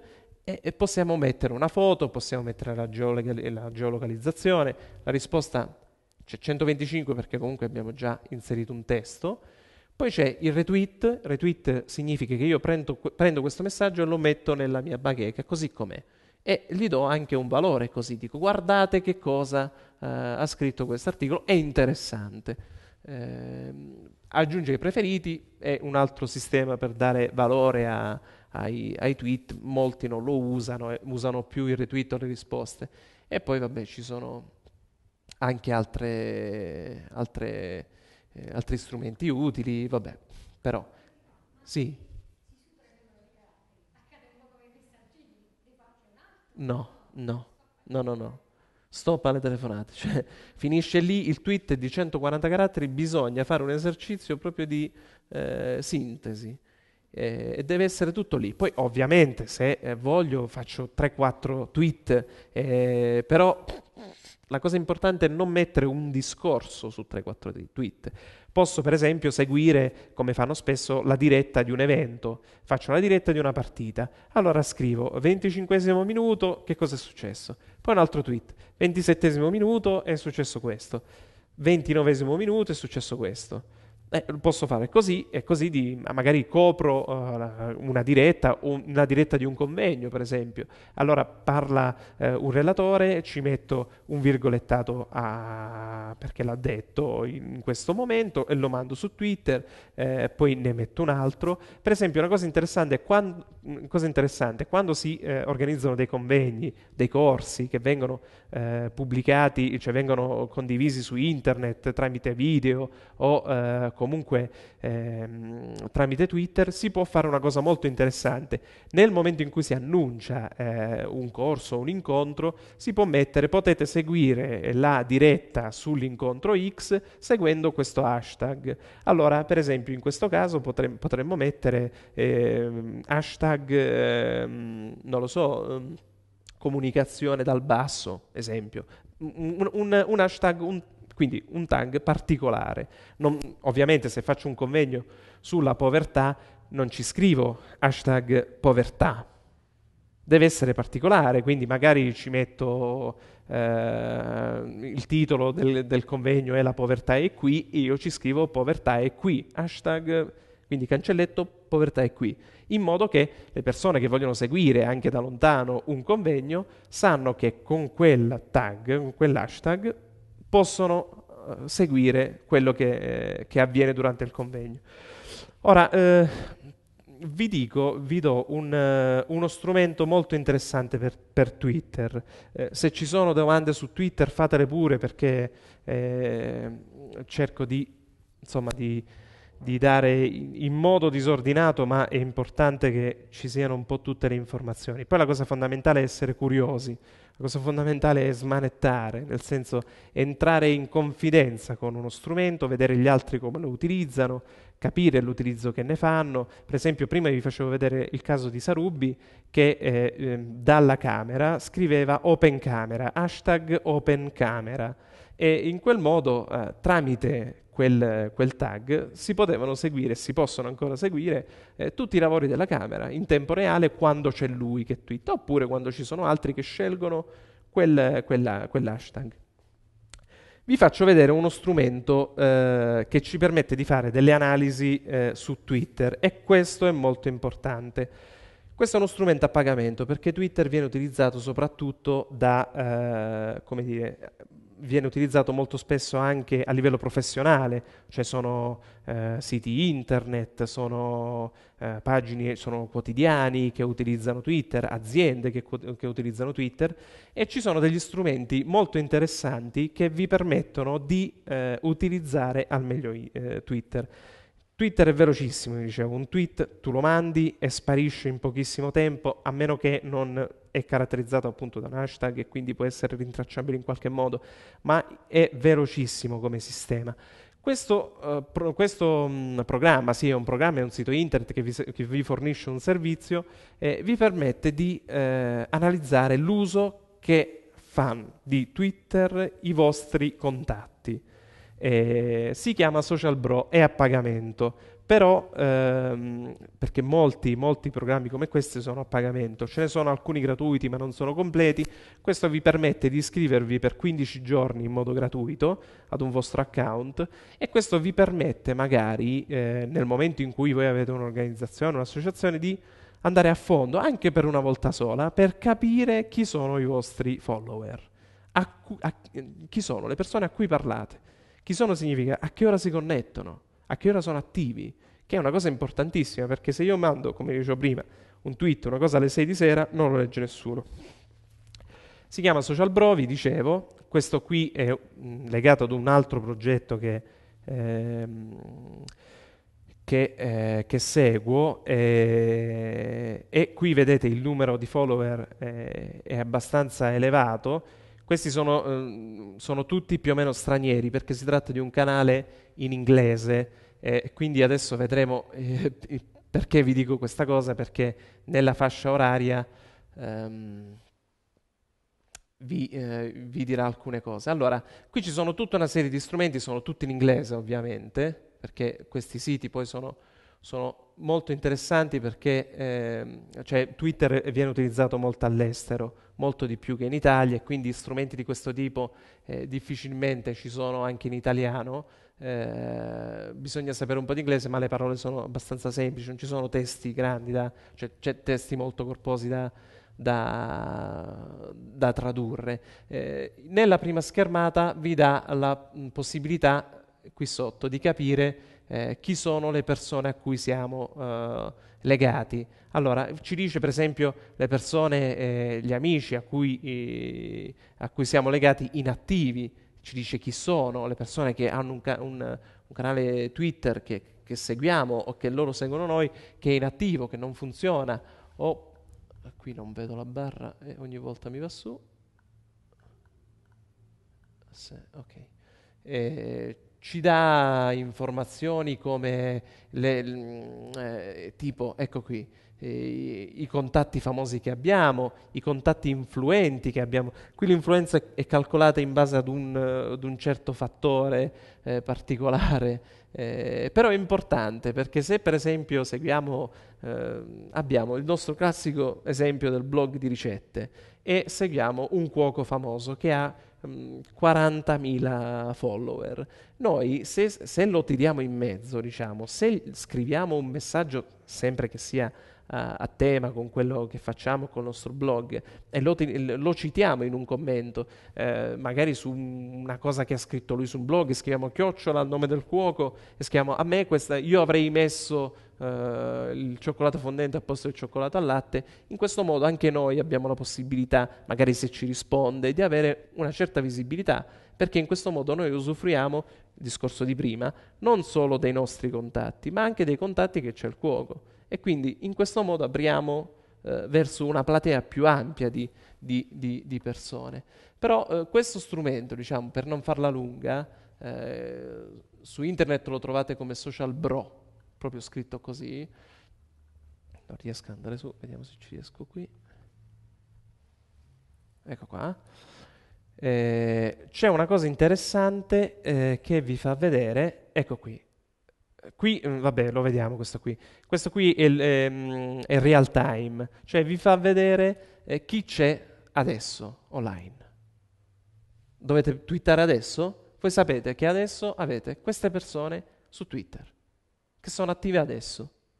Quindi, se io so che non ci sono le persone del corso, non faccio la domanda vi è piaciuta, perché tanto non ci sono. Aspetto che tornino a casa, per esempio perché per controllare. Questo qui appunto è un modo che vi, dà, vi, vi dice per esempio qui la lingua, vedete come cambia nel tempo? Vi dice la lingua, qui abbiamo spagnoli, inglesi e italiani, gli inglesi sono di più degli spagnoli, vi dice le persone, vi, vi dicono eh, su quale tipo di client sono appoggiati, tutta una serie di informazioni. Eh, la cosa più importante però per chi utilizza anche per tempi brevi questo, questo, strumento, di cui ce ne sono tantissimi, basta cercare Social Bro similar su Google e ne trovate altri, è questo che è eh, il best time to tweet. Eccolo qui. Allora, questa è una cosa fondamentale per Twitter. Dovete sapere quando pubblicare. Qui è tutto in inglese ovviamente, però eh, vi fa capire esattamente quando eh, i, i, vostri follower sono online e quando sono attivi online. Le, i, i, pallini rossi, i pallini neri sono diciamo il momento migliore per twittare, cioè quanto la maggior parte dei vostri utenti è online. Se twittate lì due o tre messaggi, è molto più probabile che, ve, che eh, un, uno dei vostri follower vi legga prima di tutto e che possa interagire con voi. Eh, gli orari sono scritti in basso, in questo caso eh, sono orari eh, da, mm, da, fuso orario americano, perché eh, iniziano alle 12-13 di mattina, sono le 6, le 7 a New York, eh, perché appunto dicevo questo è un canale Twitter che abbiamo in inglese, si inizia alle 7 cresce fino ad arrivare più o meno al, um, alle 7 di sera e il giovedì, eh, penso che sia giovedì, no? O il mer- no, il mer- sì, giovedì. Il giovedì del, all'una alle 7 di sera italiane eh, c'è il boom, dico, cioè c'è il, il picco massimo di di, di, contatti. Quindi, se devo pubblicare qualcosa, io che sto in Italia e ho questo canale in inglese, non pubblico la mattina. Perché la mattina alle 8 non c'è nessuno, alle 9 non c'è nessuno, alle 10 non c'è nessuno, alle 11 neanche. Quindi io la mattina non lo tocco. Comincio a pubblicare dalle 13, 13, 14 e poi mi, mi, mi, muovo guardando anche i risultati. Questo, qui, questo, questo tipo di, eh, di, analisi si può fare anche diciamo, nel dettaglio. Eh, qui sono tutti, io posso vedere eh, il lunedì, l'una, queste sono sempre le, sono sempre le 19. Eh, guardate, allora si va, e va sempre in crescendo, fino alle, alle 3 italiane, quindi lì saranno le le 9, sono le 9 lì per esempio negli Stati Uniti. E, e questa operazione poi lo possiamo vedere anche in altri, grafici che abbiamo, eh, in base all'ora, no? e, insomma ci sono diverse, diverse cose e più infine ci sono, questo programma vi dà la possibilità di vedere quali sono ehm, i temi di cui parlano i propri follower e i link che vengono eh, pubblicati dai propri follower. Allora, questo mi fa capire che in questo periodo le persone che mi seguono parlano di Messico, parlano di Obama, people, police, eh, security eh, e cose varie.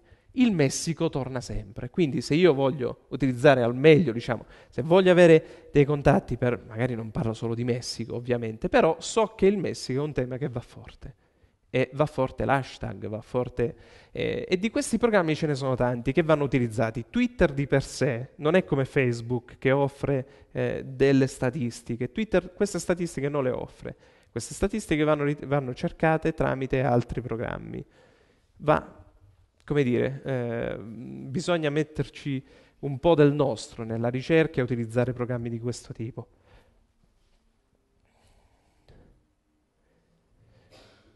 Vediamo un po'.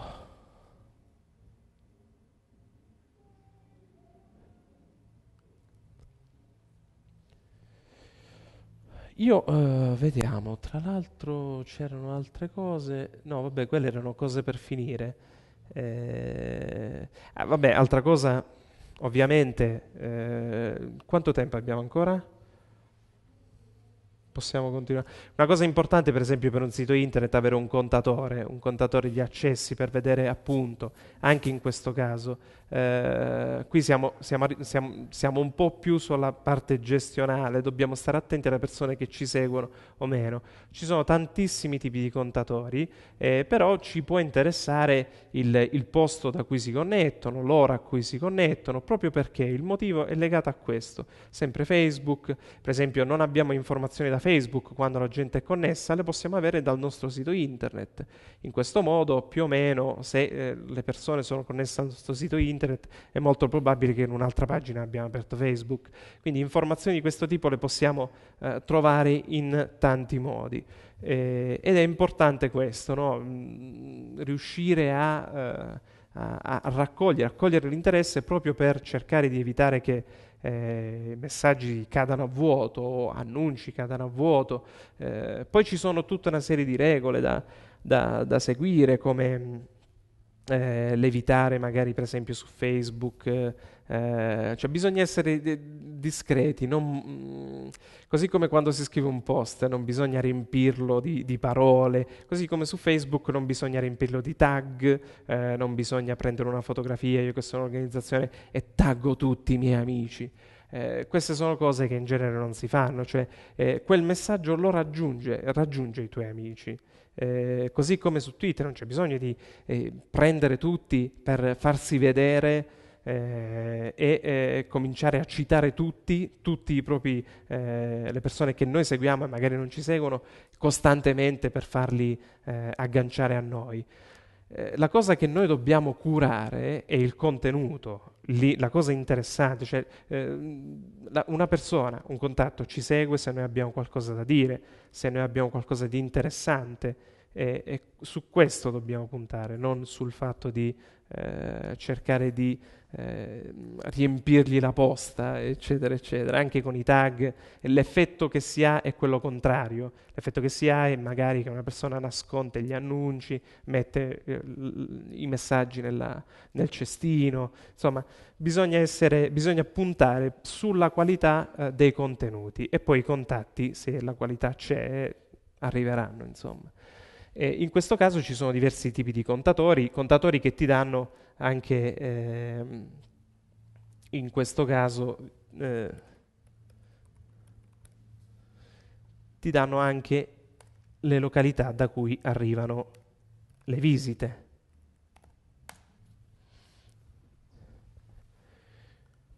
E anche in questo caso tutto dipende sempre dal, dal tipo di, di progetto che, che porta avanti. In questo caso si va dalla, dal livello mondiale, si arriva nel particolare. Io posso sapere in Italia da dove arrivano uh, i, i, contatti per capire se è un tema che è seguito uh, come associazione. Magari ho fatto un progetto in un'altra regione, posso vedere se ci sono dei contatti, se è stato pubblicizzato. Se...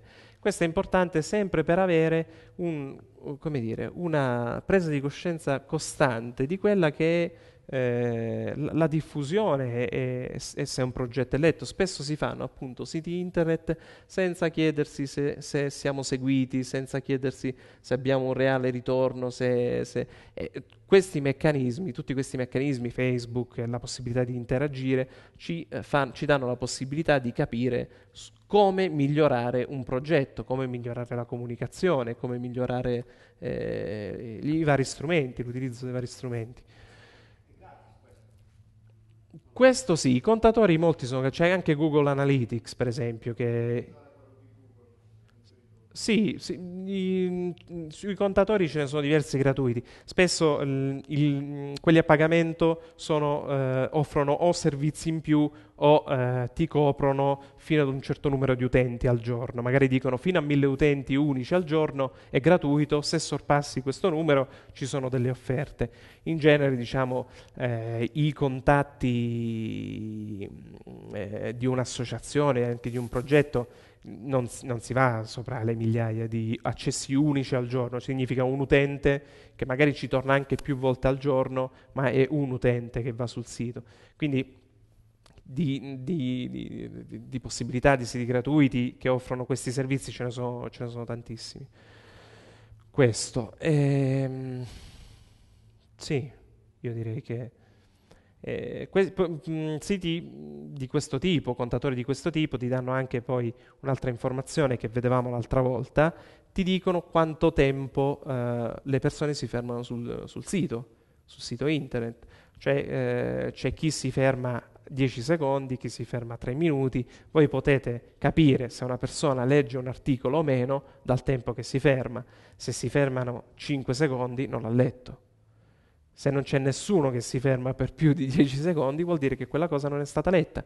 Quindi vuol dire che magari eh, quella pagina del post va, il testo va ridotto, probabilmente perché magari abbiamo scritto una cosa troppo lunga, oppure non abbiamo messo neanche un'immagine. Sulla cosa delle immagini, qui saltiamo da una cosa all'altra, però è molto interessante. Spesso appunto, vi dicevo prima, il nome dell'immagine è importante, torta.jpg. Dobbiamo pubblicare la torta? Non dobbiamo scrivere immagine.jpg, come o nuova pagina, nuova immagine, così come magari ce lo salva il, l'editor sul nostro computer. Torta.jpg. Quando lo inseriamo nel, te- nel, nel, blog dobbiamo mettere tutti i testi alternativi e descrittivi, dobbiamo scrivere che cos'è, eccetera, eccetera. Eh, una cosa, dobbiamo utilizzare immagini originali, anche per esempio sulle torte. Un esempio interessantissimo è questo. Se voi fate un, un sito, un blog in cui parlate di, eh, di ricette e pubblicate eh, fotografie che eh, si vede che sono eh, prese da qualche altra parte, la credibilità cade immediatamente. È come se voi eh, avete bisogno di un cellulare. Andate su uno dei siti di, di annunci, voi il io voglio sapere chi di voi acquisterebbe un, mh, mm, da un annuncio che mette come immagine non quella del cellulare reale che metto in vendita, ma quella che trovo su internet. E dico ottimo stato, cellulare in ottimo stato. Fa molta più presa quello che ti fa vedere il cellulare reale. Magari c'è un graffio, però dico guarda c'è un piccolo graffio, però è questo, in ottimo stato, tutte le prove che volete fare. Però l'immagine originale è importante, è davvero importante. Su questo, per esempio, eh, c'è una cosa molto importante che si può fare per rendere il sito un po' più, più vivo e in modo molto semplice, è quello di inserire le infografiche. Ora, tra l'altro, questa era una domanda, un'illustrazione giusto, comunicazione virale no, infografica, un'immagine grafica con informazioni, è semplice infografica, i giornali sono pieni di infografiche. L'infografica è, eh, è una cosa, come dire, eh, i giornali appunto sono pieni, è una cosa semplice da fare, che se fate un sito internet vi risolve anche dal problema di, me- di trovare un'immagine. Allora, eh, vi faccio vedere un esempio e poi vi do anche qui un altro strumento eh, gratuito che potete utilizzare per creare delle infografiche. De- si possono creare infografiche eh, sul web tranquillamente.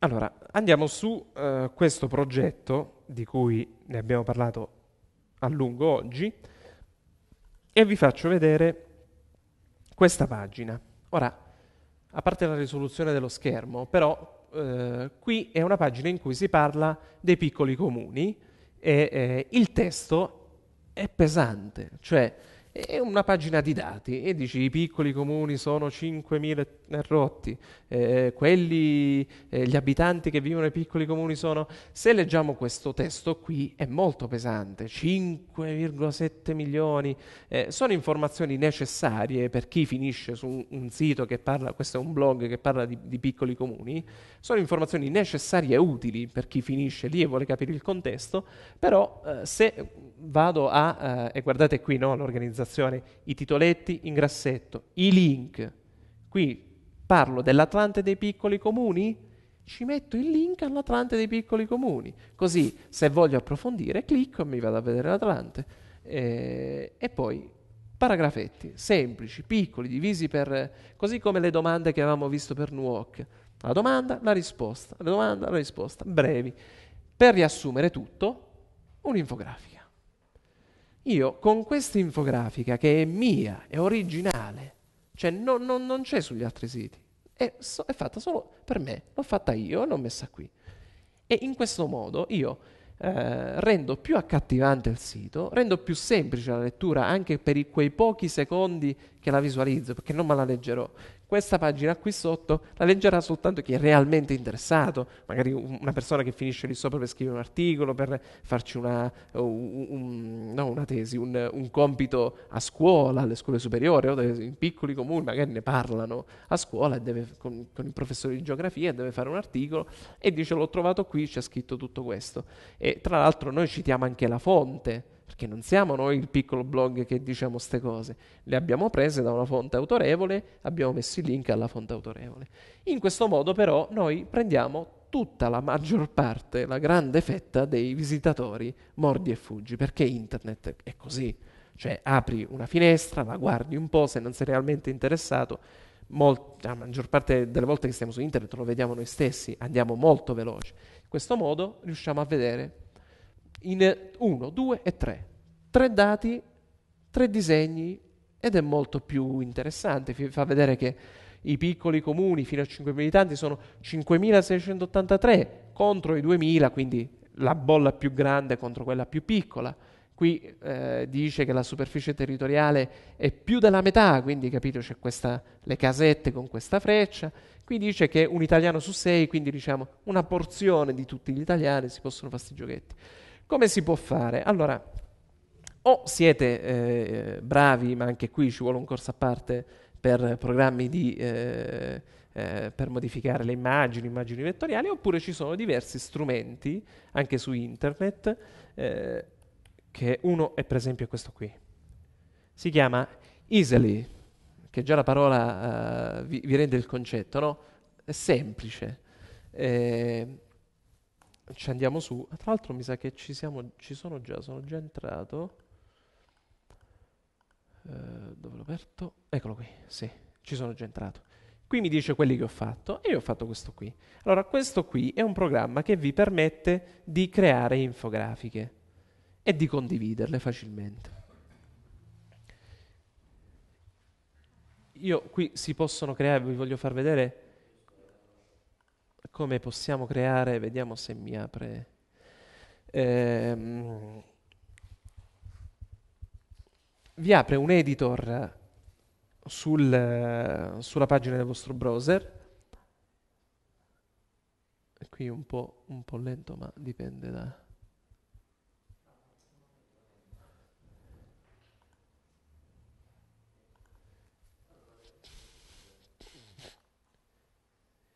Sono programmi che richiedono comunque eh, una, una, banda un po' veloce, nel senso che comunque sono, devono caricare eh, delle informazioni. cerchiamo di farla un po' più piccola così possiamo vedere.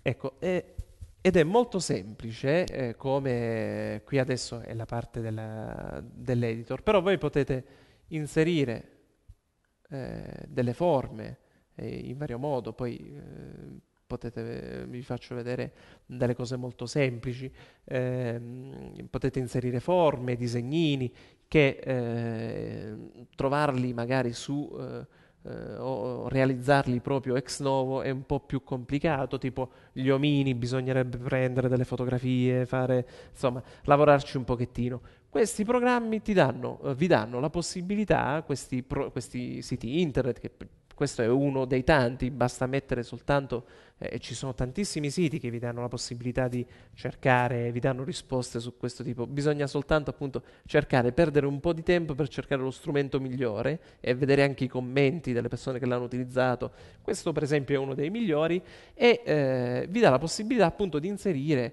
oggetti per fare delle infografiche, questo è un progetto fatto apposta. Allora si possono inserire gli omini, si può inserire l'omino con eh, il braccio alzato lo posso mettere qui, o, anzi lo metto, lo metto qui.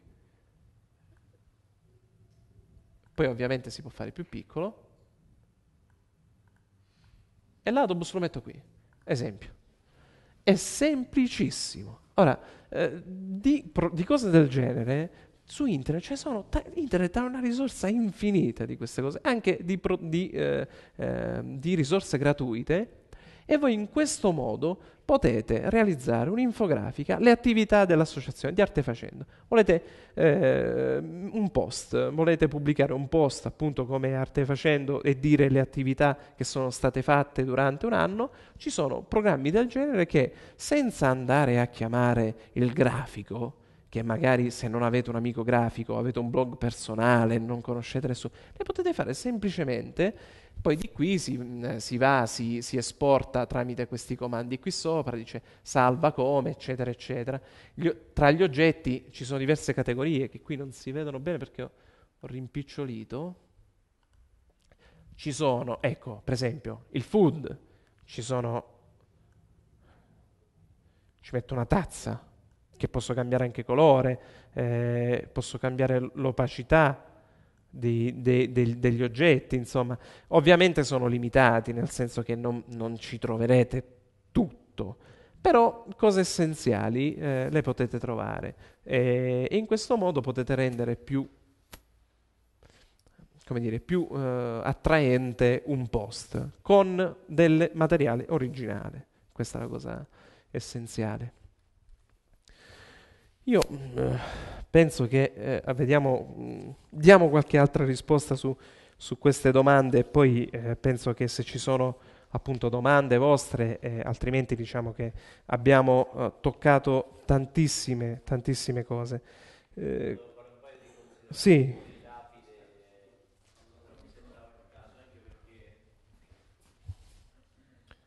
Sì, sa. Sapore di anche perché il corso, il nostro laboratorio al basso in marketing e comunicazione oramai sta giungendo al termine, questa era la penultima lezione.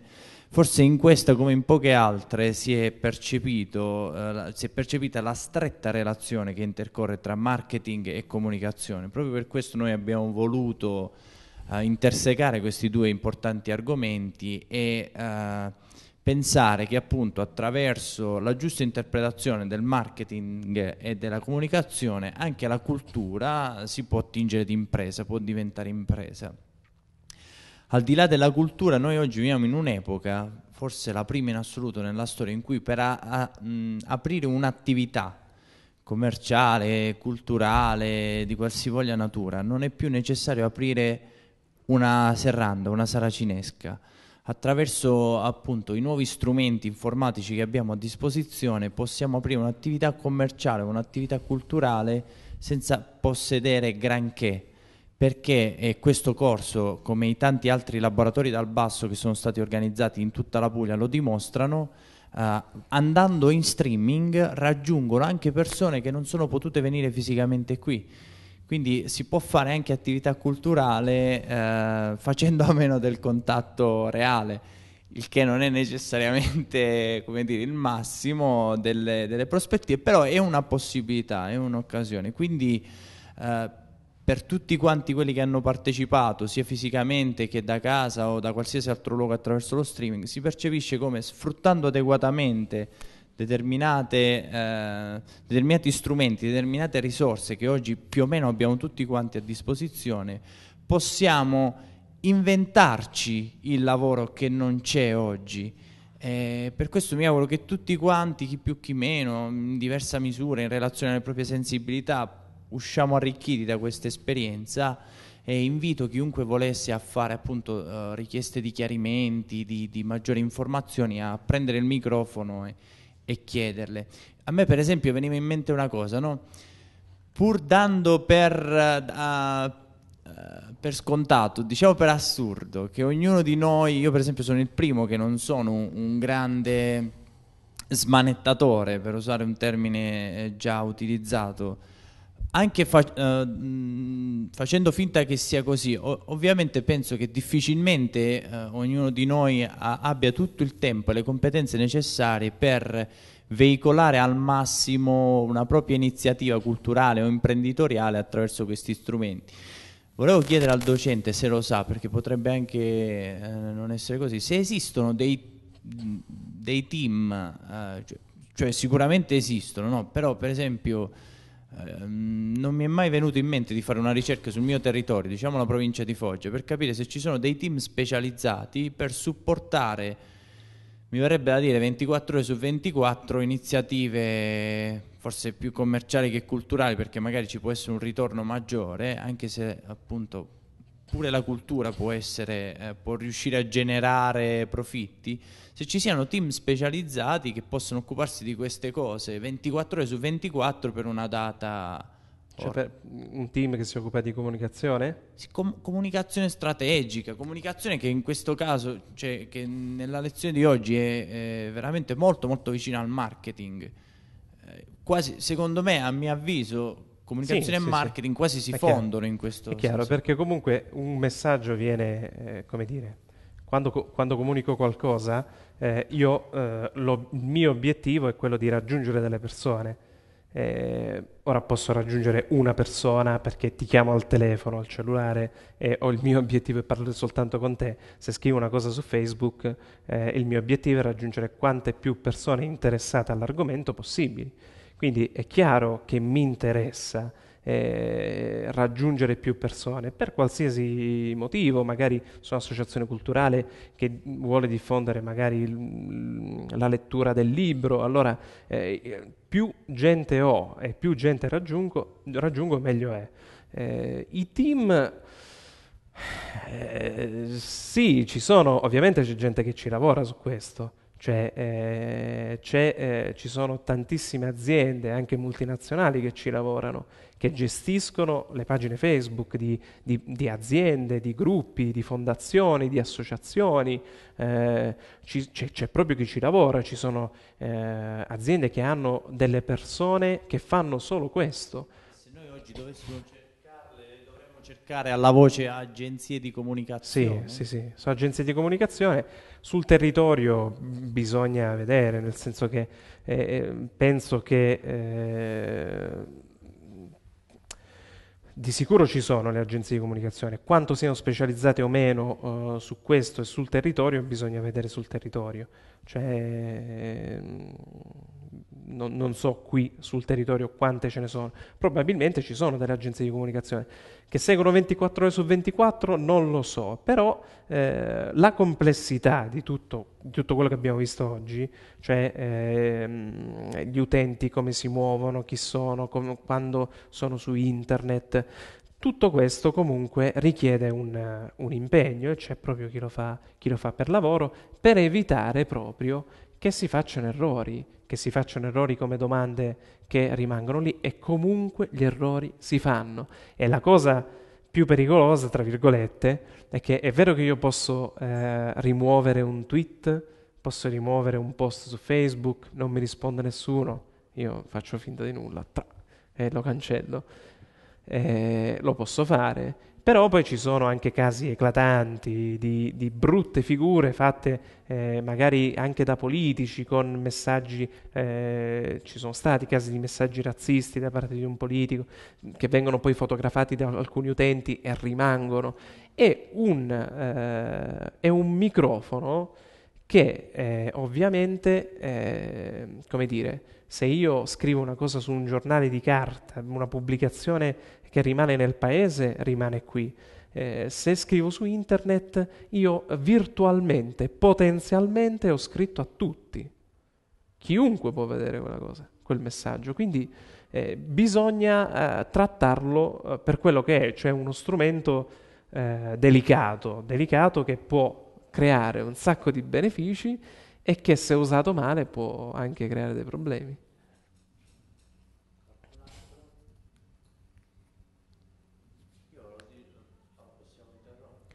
Sì, sì, io volevo giusto, facciamo giusto una cosa, vediamo giusto qualche altra domanda così per chiudere e poi vi faccio vedere un filmato perché vi ho, vi ho inserito alcune cose interessanti, giusto per, eh, per rispondere a tutte. Il testo eh, di un documento PDF indicizzabile? Non lo so, sì, sì, il testo di un PDF è pubblicizzabile, cioè è indicizzabile perché eh, dipende come è realizzato il PDF. Se il PDF che è un formato appunto di testo, contiene delle immagini e il testo non è selezionabile, no. Eh, in genere i testi sono selezionabili, però diciamo che conviene sempre inserire un testo, conviene inserire eh, sempre anche nei PDF, nei file allegati, le didascalie che ci sono nel, per indicizzarle meglio. Cosa sono i, mh, i fake blog, eh, il fact checking? Eh, allora, eh, vi dico un attimo che cos'è il fact checking, poi finiamo con i fake blog e la comunicazione virale, giusto per, per dare diciamo, un assaggio di, di, cosa permette di fare il, il, il web, di cosa eh, permette di fare la comunicazione soprattutto e ehm, eh, diciamo di come eh, di una cosa importante che eh, essere un po' più furbi nel comunicare eh, può rendere molto. Furbi nel comunicare, appunto, eh, l'infografica a me non è che mi sei, cioè, perché devo mettere l'infografica?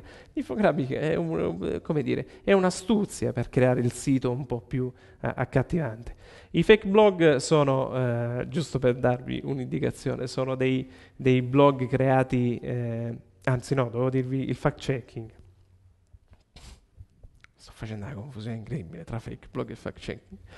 Il fact checking è eh, un, come dire, un, ce l'ho aperto qui, è un nuovo modo di approcciarsi alla comunicazione che è nato eh, negli Stati Uniti, cioè eh, la, eh, si dà la possibilità agli utenti di verificare le notizie. Questo perché vi, vi ho tirato in mezzo questa cosa qui?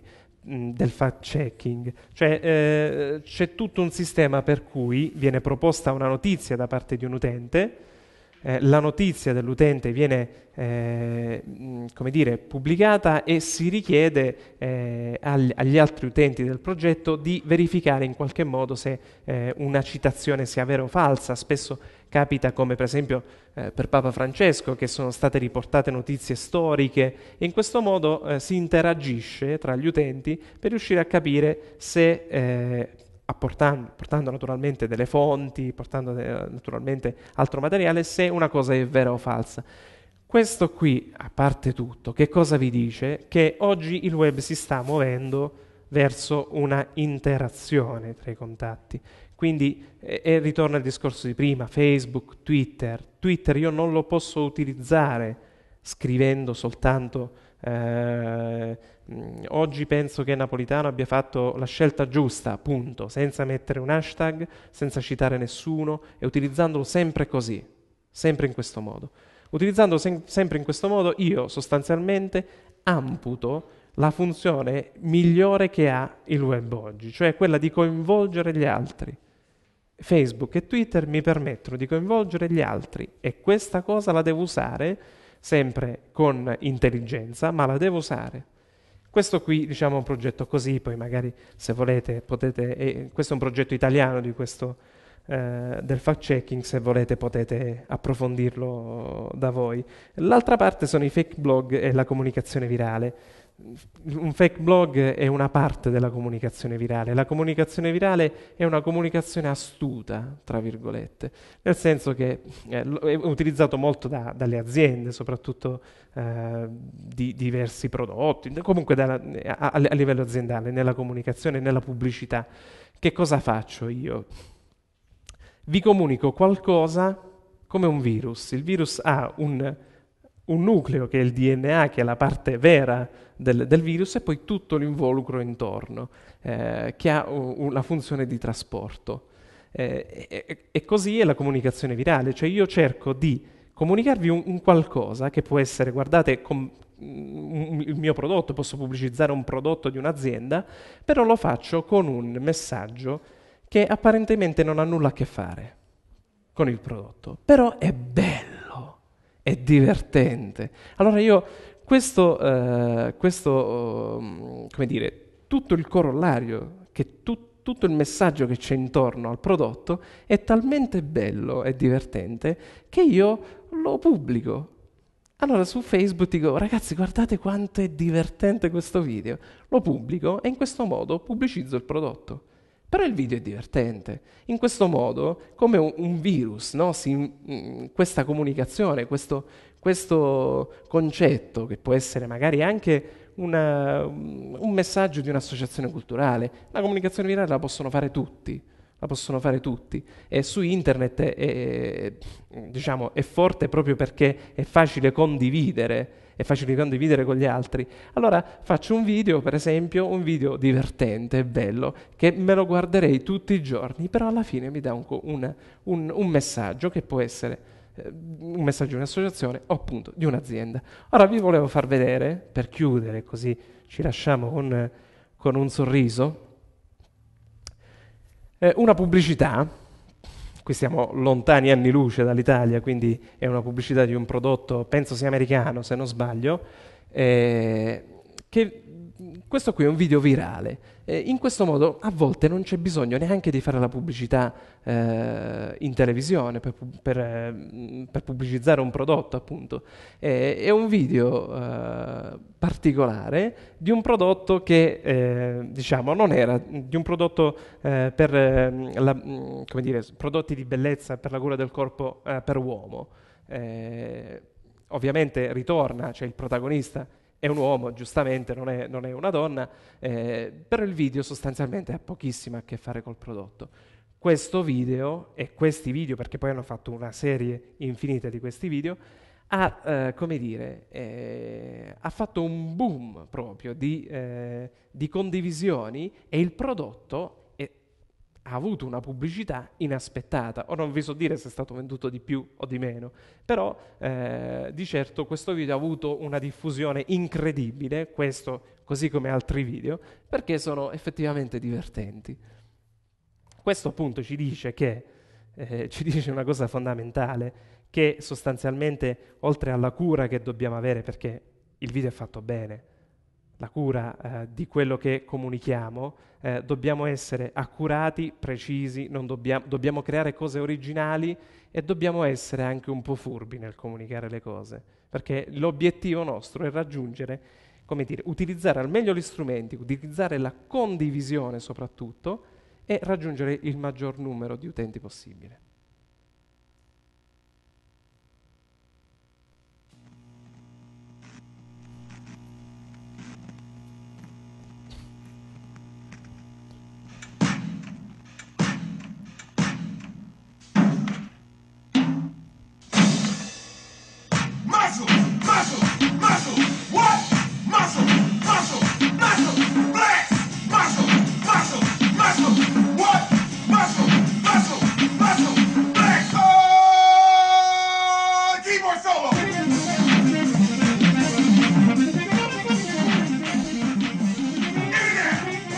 Daniele muove gli strumenti con il movimento dei muscoli.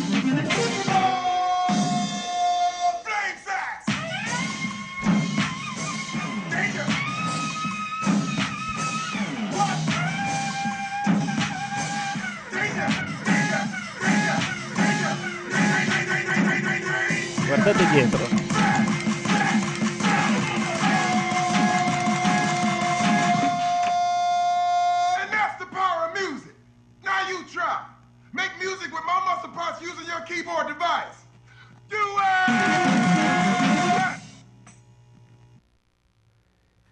quello è il prodotto che non si vede in questo filmato, è il prodotto che hai in mano. E questo filmato, così come tanti altri, sono, hanno nulla a che fare con i prodotti per la, per la cura del corpo. Però è un messaggio che funziona e funziona a livello della condivisione, perché viene condiviso, fa il giro di Internet, di Facebook, è un messaggio che, che funziona, è virale, ma funziona.